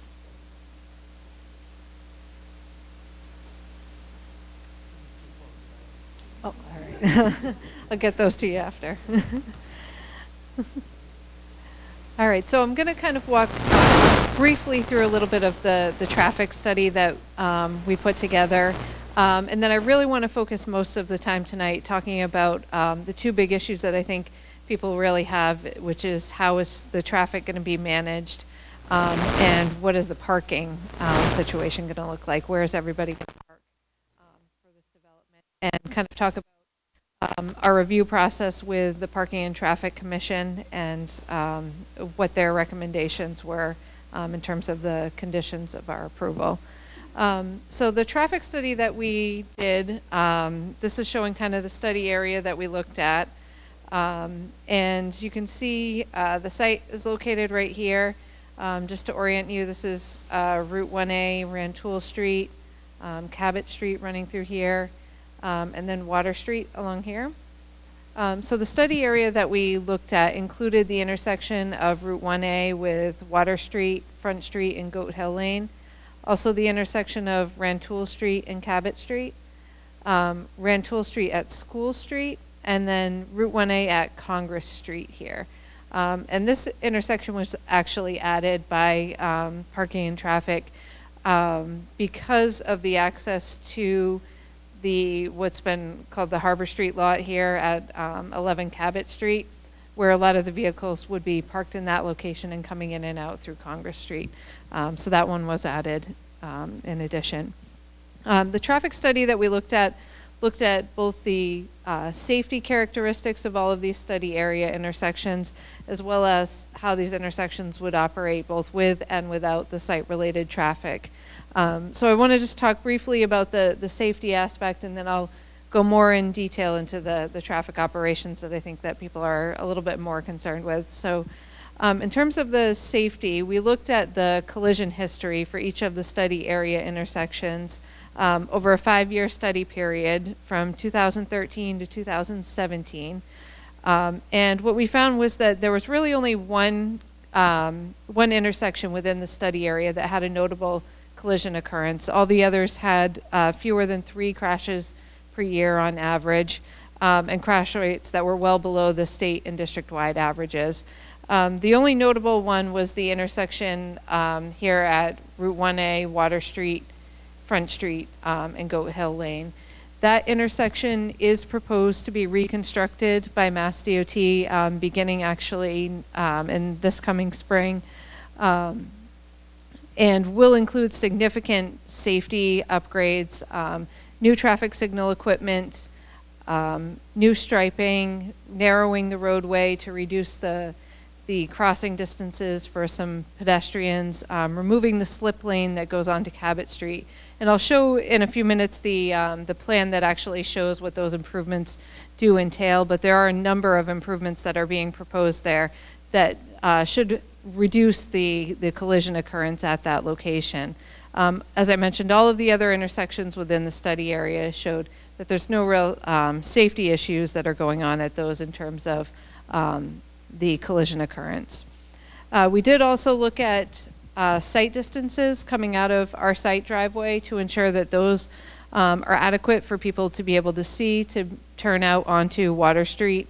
Um, and looking to the east, down Water Street, oh, um, down in this direction here. Um, the sight lines there are actually over 500 feet, which are well in excess of what um, AASHTO requires um, for uh, minimum sight distances. Looking back in the other direction, you can see all the way to the signalized intersection with, um, with Route 1A in that direction as well. Um, so, so sight lines looked good in, in both directions. Um, as part of the traffic study, we collected traffic counts um, at each of these study area intersections. Um, the time periods that we looked at were the weekday evening peak hours and the Saturday um, midday peak hours, which coincide with um, the adjacent street traffic and the peak times for um, the restaurant when the, when the two of those would be the heaviest. Um, the counts were originally done on uh, Thursday, May 30th, and Saturday, June 1st. Um, and then the additional count was added um, down here at the Congress Street intersection on June 6th and June 8th um, to add that additional location. Um, when we did the counts the first time, um, Cabot Street here had a detour that was going on during the evening peak hour, so we ended up going back out and redoing that count um, again um, once the uh, the detour was opened up, and so that count was redone on on June 13th. Um, so all of those were done while school was still in session, but while waterfront activity um, on the weekends was starting to pick up. And we did look at seasonal adjustment factors um, for these traffic counts. Um, in general, May and June traffic volumes um, are about 4 to 9% higher than an average month condition. Um, so we left these volumes unadjusted so that we could show a conservative estimate of the, um, of the traffic conditions under an existing condition.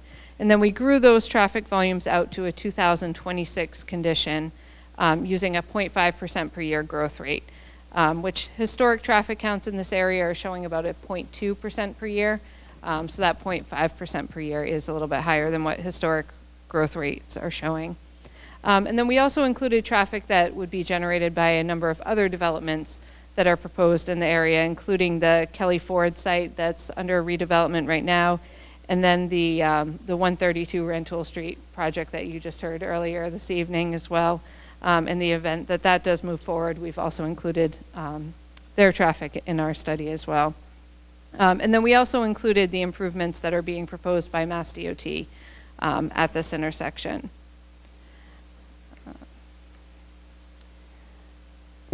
So once we had our baseline condition, um, including all of those adjustments out to a future year, we looked at how much traffic is our site um, actually going to generate.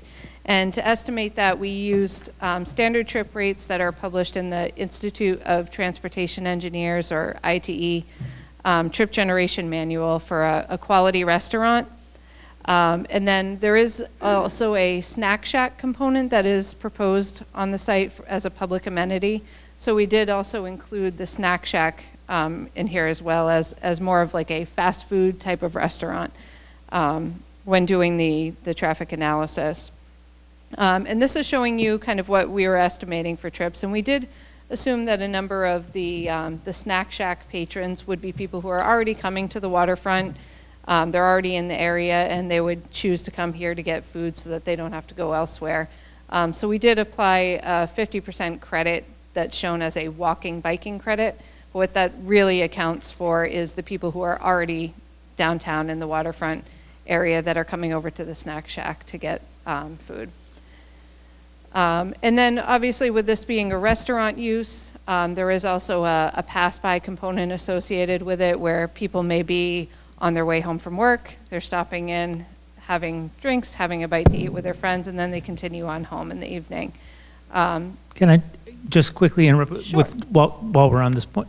Why did you include only weekday PM and not Saturday and Sunday PM?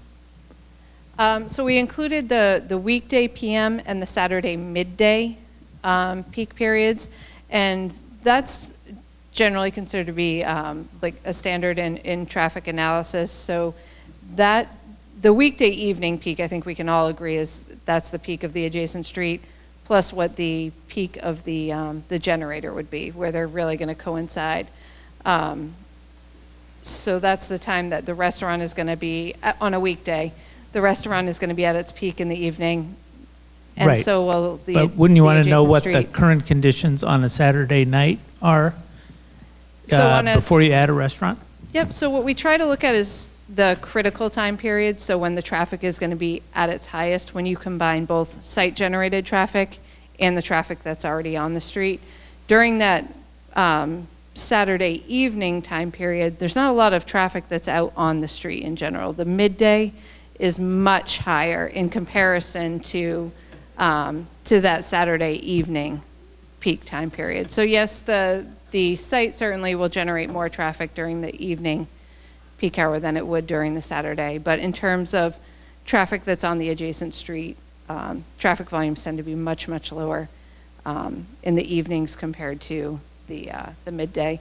And certainly we can pull that information out to tell you a rough percentage how that compares, but um, in general, that's, those are the time periods that are typically looked at for, for restaurant use as well, not just um, for other uses. Um, But so in general, when we look at um, all of these factors combined, what we see is an an increase in traffic generated by the project of um, roughly 58 vehicle trips during the weekday evening peak hour um, and 74 vehicle trips during that Saturday midday um, peak hour that would be generated by the, the project. And again, a trip is either one vehicle entering or one vehicle exiting the site. Um, so that 58 trips, is- it represents 46 people roughly coming in in that evening peak and another 12 um, exiting. Um, the Saturday midday is pretty similar in terms of distribution, where 47 cars would be coming in, 27 leaving um, during that time period. Um, So this figure here is, is kind of showing where we anticipate that traffic will be um, headed to and from. Um, So we're estimating, um, based on existing travel patterns in and around the waterfront, that approximately 50% of the vehicles would be headed to and from the south along Route 1A. Um, About 25% would be to and from the, the north along Rantoul Street, 15% out along Cabot Street, and roughly 10% out along um, Water Street, um, coming to and from the site. 10% on Water Street. yeah. I, I'm sorry, this isn't the time for questions. You- There will be an opportunity to ask questions, but we want the uh, traffic to be able to give their presentation. And so this is um, just to kind of explain these distributions. So um, obviously, our driveway is on Water Street, and there's also location off of um, Cabot Street. So people will be coming to those locations, but this is sort of looking at, from this surrounding area, um, what streets are people taking to get to the site? So people coming down um, Rantoul Street and Cabot Street may turn onto Water Street and come into the parking lot. But in terms of coming from Water Street out to the east, that's what that 10% is representing. Um, So this just breaks down um, the site-generated trip and shows you how many trips is that really on each of the roadways.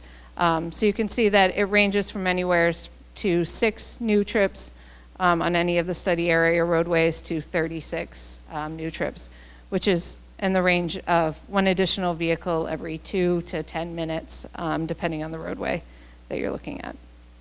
Um, Now, one thing that's not reflected in the, the uh, trip generation estimate is that we have been very conservative in our assumptions. Um, There are a number of transportation demand management measures that would be implemented that would assist in reducing the vehicle trips that would be generated by the project. Um, For example, even the location of the site being in the downtown area um, with strong pedestrian and bicycle access, um, the proximity to public transportation facilities, the commuter rail station nearby, all would lend itself well to having um, pedestrian and bicycle activity, um, as well as transit um, trips to and from the site. Um, With the number of residences and businesses in the area as well, um, a number of people may walk over um, that are already working or living in the area, may walk over and use the restaurant. Um, And no credits have been applied for any of those factors. Um, There's also planned to be an off-site employee parking location to reduce the parking demand in this downtown area um, around the waterfront. Um, Right now, uh, negotiations are in place with, with the Kelly Ford site to um, park vehicles at that location. So 25 um, employee parking spaces would be located there with an employee shuttle that would uh, bring them back and forth. Um, We're also looking at options for using that um, employee shuttle to provide a patron shuttle service to and from the MBTA station as well. Um, since the, the operations for an employee would be much earlier, where most employees would arrive by 4 o'clock um, and would tend to leave in the 10 to midnight range. Um, and in between, that same um, shuttle could be used to get the patrons to and from the site as well. Um, we also plan to partner with the North Shore TMO, um, Mass Rides, and NuRide, who are all um, services that assist in developing TDM measures, offering incentives to employees um, to, to take greener trips um, using walking, biking.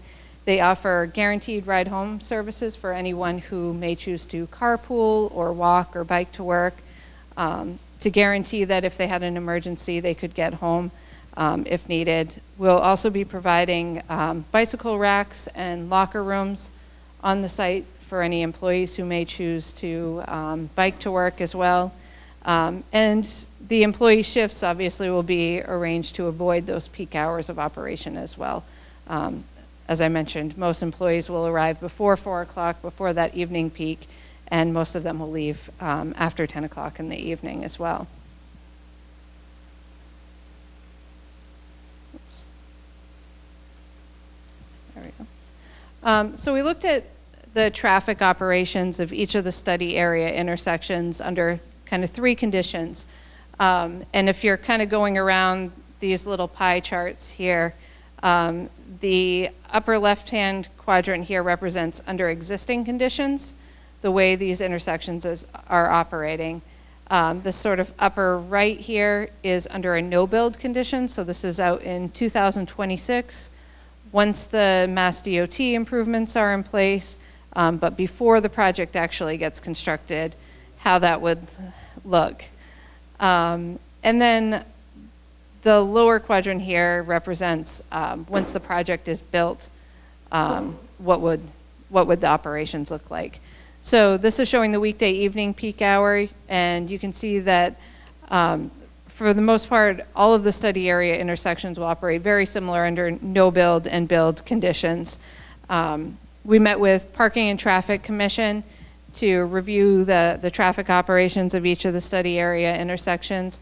And only one really had notable impact, and that obviously is the one right at our front door at the intersection here of um, Route 1A, Water Street, Front Street, and, and Goat Hill, where under the weekday evening peak hour, we were seeing a level of service F coming out of um, Water Street onto Route 1A, even with the improvements in place um, by Mass DOT.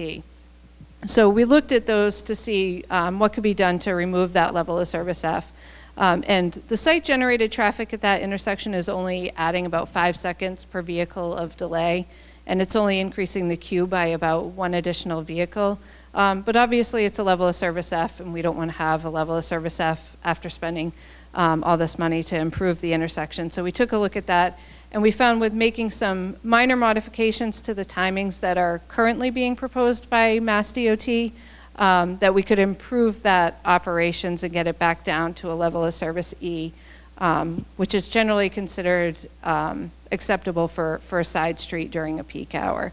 Um, so we are currently coordinating with uh, Mass DOT's um, consultant to try and get those timings updated in their next submission. So they just submitted their 100% design plans on August 30th.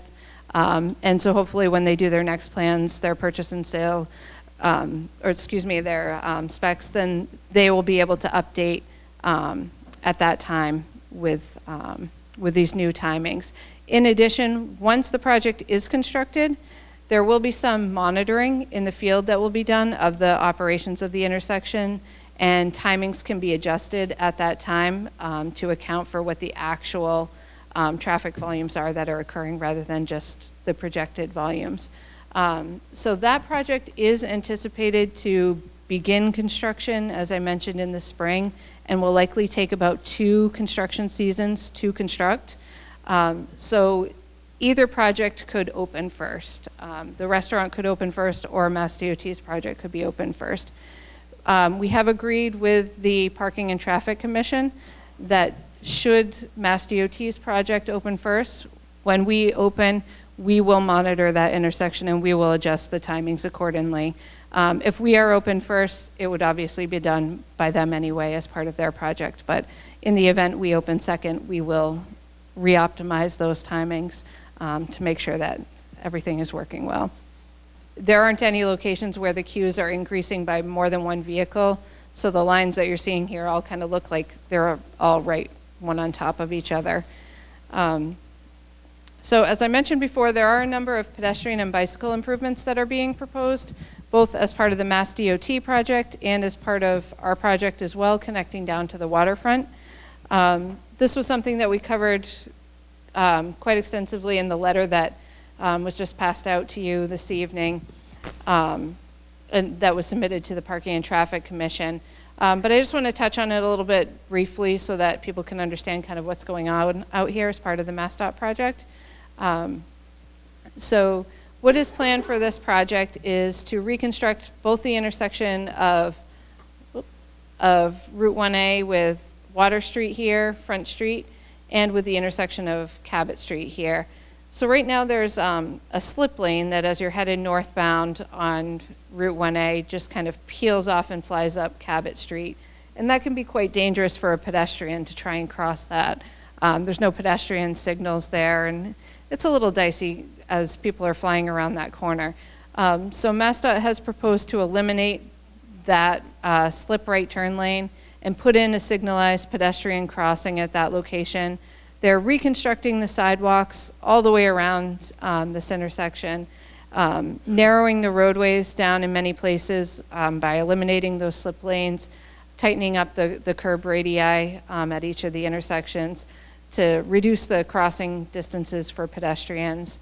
Um, they're upgrading all of the crosswalks with ADA compliant crossings um, with the pedestrian push buttons that will actually chirp. Um, you're probably familiar with those from up and down Rantoul Street now that have been put into place.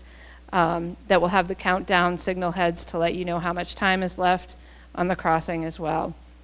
Um, the other component that they're adding is uh, bicycle lanes along Route 1A in each direction, which will connect up to the lanes that were just recently constructed on Rantoul Street as well. Then as you continue down into um, the Water Street site, as Scott already kind of walked through a lot of these, so I'll, I'll just touch on them very briefly. But we plan to continue the work that's being done by Mass DOT um, by connecting down all the way along this um, multi-use 10-foot wide path here down to the waterfront, which will be um, a handicap accessible route down to the waterfront in that area. Um, and then also providing a connection up through here um, that you could use to get up to Route 1A via the staircase connection as well. Um, and then a number of the amenities that are going to be provided along the waterfront with the outdoor um, seating areas, the benches, the landscaping, and all of that that, um, that Scott already mentioned. So I won't go into too much detail on that component of it.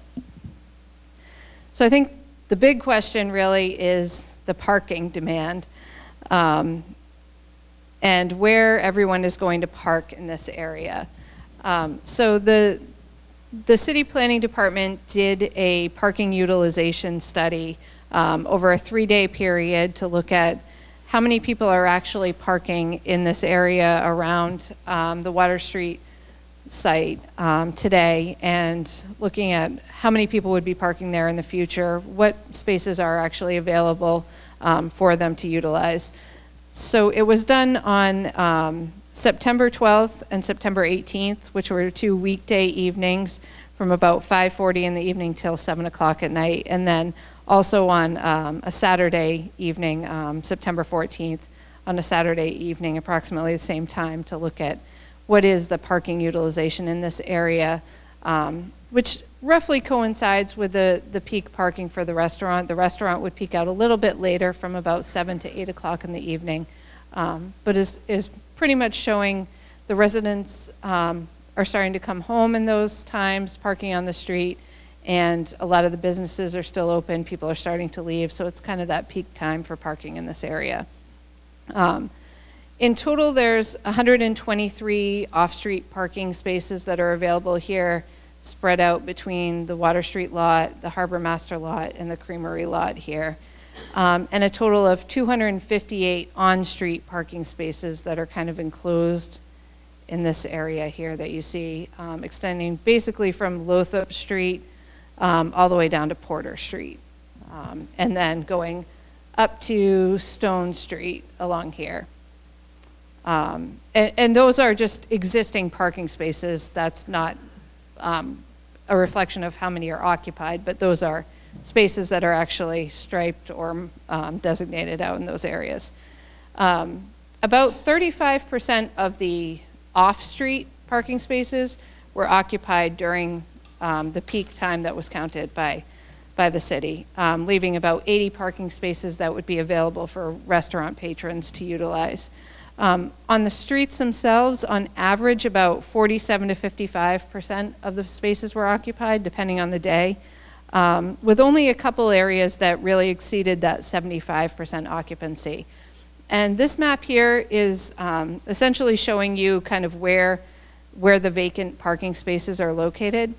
Um, so the areas that are shown in green represent the parking spaces that have a lot of availability. So there's not a lot of people that are parked in those locations. Um, there's less than 20% of the parking spaces that are actually being utilized. Um, As it fades down to red, that's where we get into the area where it's 80% or more of the parking spaces um, that are being occupied here. The good news is that a lot of the available parking spaces are actually the ones that are closest to the, um, to the site itself. Um, and the ones that are fuller parking spaces are located a little bit further away from the site. So that as there is some spillover from the off-street parking spaces onto the street, um, those will be in the areas, most people will tend to go to the closest parking space that they can find on the street. And those are the areas that are not being utilized um, today. Um, so we don't anticipate a, a, huge amount of displacement of parking for um, the vehicles that are already parking in this area today, based on the fact that there are um, so many parking spaces available on the streets closest to um, the site itself. So this one is showing you the, the weekday evening peak hour. Um, and uh, this figure here is basically showing you the, the Saturday midday, or excuse me, the Saturday evening um, peak hour as well.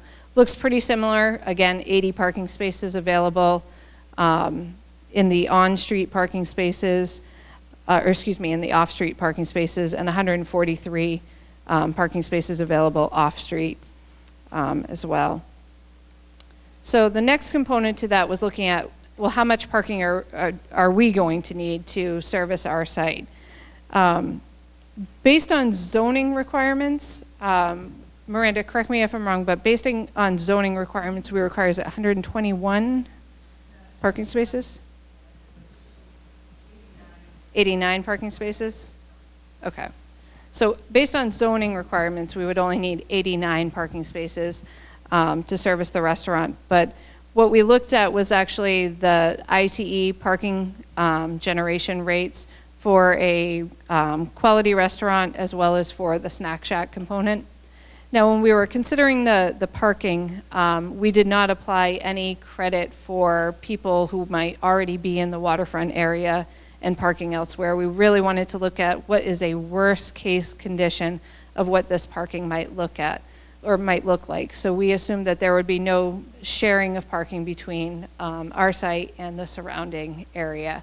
Um, we also superimposed the peak time for the restaurant on the peak time of the adjacent street, even though they likely will not occur at the same time, um, where the restaurant will, will experience its peak um, in that 7, 8 o'clock in the evening, um, and the, the street will experience its peak a little bit earlier.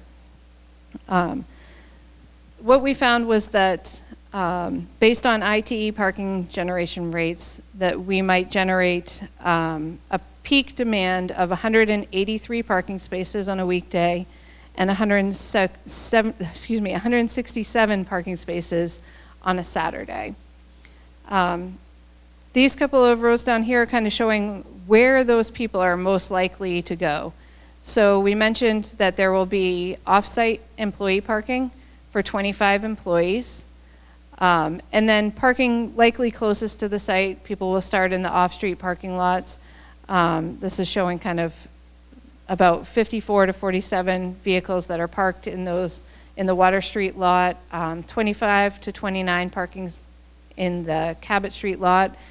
And the Creamery lot is really about at its capacity right now. Um, it was pretty full on the, on the weekday. Um, but there are a couple of available parking spaces that people may park in those locations as well.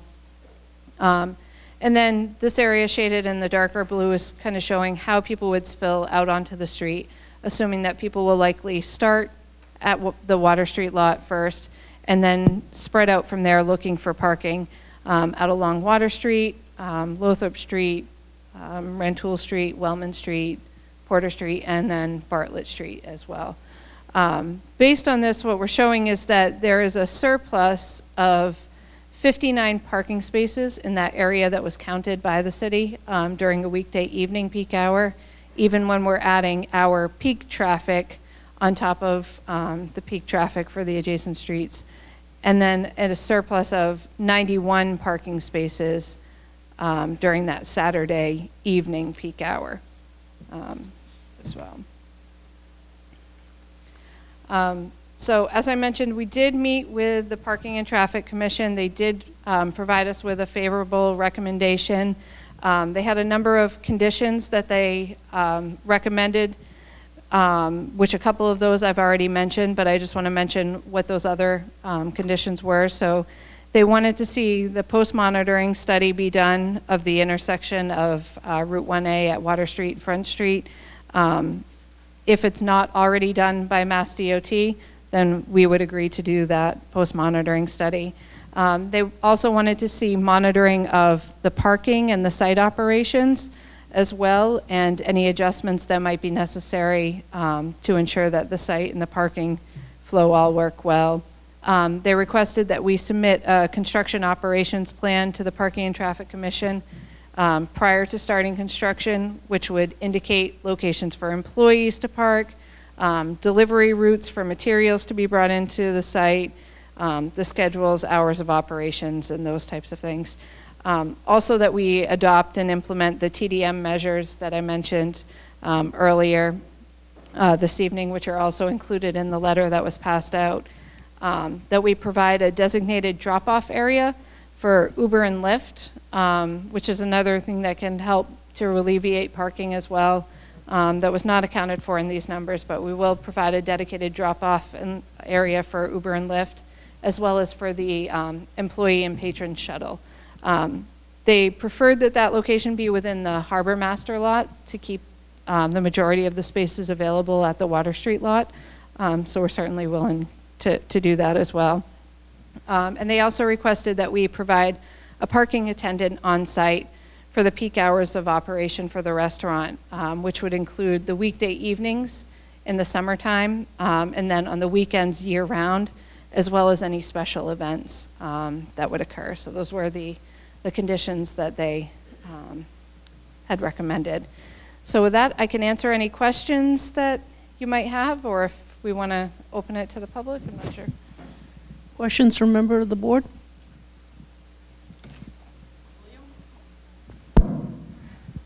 Um, I have a conceptual question.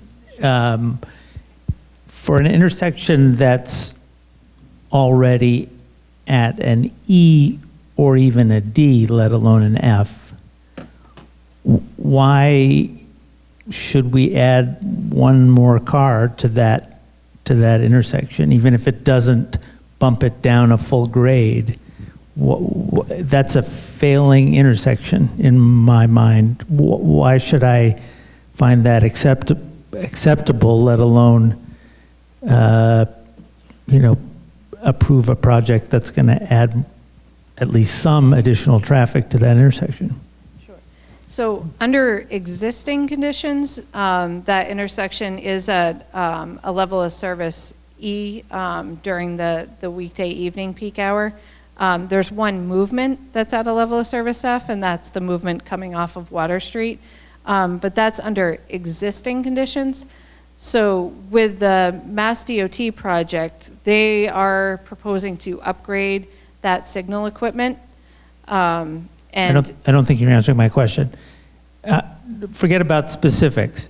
You've got an intersection that's already a D, um, and, and will remain a D if nothing, even if nothing happens. Uh, Why should I permit, why should I approve a project that's going to add any cars to that intersection? It's already at a D. It's, it's unacceptable as it is. Yeah, so a level of service D is, is generally considered an acceptable I know you said that before, but for- considered for by whom? Operations. Considered by whom? And in fact, so when we look at traffic operations, um, uh, so the level of service is really, it's not telling you if there's enough room for traffic to get through. What it's telling you is how much delay does Yeah, a, a unacceptable driver amount of delay. And a, a level of service D really means that a driver driving through that intersection is going to experience, um, for a signalized intersection, up to 50 seconds on average um, as they go through the intersection. Um, So it's not really telling you, is there enough capacity or not for a vehicle to get through? There is plenty of capacity at the, at the intersection for vehicles to be able to get through. Um, It is at a level of service D, um, with the proposed improvements um, by Mass DOT. Okay, forget, again, forget about, I'm, I'm not talking about specific, I, I agree, it's better for it to be a D than an E, but I, I still don't, and- and, you know, I, I, think I've heard the best answer you have, which is some people think a D should be acceptable, but I'm not getting it, and, and I'm not getting, as I say, why, why any more cars should be added to an intersection that's, that's an E or even a D. Um, Certainly, if, if the intersection was at an E, I think we, we'd be seeing a lot more issues. When it's at a level of service E, you tend to see a lot of movements that are operating at a level of service F. And that starts to represent a, a failing condition where you're exceeding the capacity. But in this case, the overall intersection is at a level of service D. And for a, a city intersection, a downtown intersection on an arterial roadway, that is considered by, by all means um, to be an acceptable condition. That's actually what you want to design for in general, is to have a level of service C or D during your peak hours. When you go beyond that, you start um, really putting in excess capacity that doesn't get used um, during the off-peak times, and you create sort of this sea of pavement out there that most of the time isn't being used.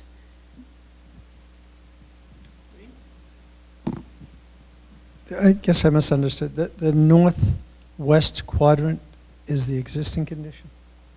Correct. So, So the- isn't that at an E, not a D currently? Correct. So, yeah, so this is an E today without the improvements that are being done by the DOT. Um, Once those improvements are done, it would be at a level of service D overall. Okay. And then with the additional traffic that we would generate, it remains at a D. Um, The intersection only increases in delay. Um, I'm not sure of that specific one that I was just showing, but in general, all of the intersections have less than a two-second increase in delay at any of the intersections in the study area. I assume that the, that there's no left turn exit from the project site to the south. Um, So you can exit the site, you're talking about out onto Water Street? Is that what you're Well, talking about? Yeah, I guess it's, I guess you'd be exiting to Water Street. How do you leave and go south? Yep, so if you were exiting the site to head south on Route 1A, um, you could come out of Water Street, take a, a left out of the site driveway onto Water Street, and then a left at the signal here. I think you mean a right and then a left. No, it would be two lefts. Oh, I see, okay. Yep. So The actually, site I can, plan? uh, yeah, that's what I'm going to do.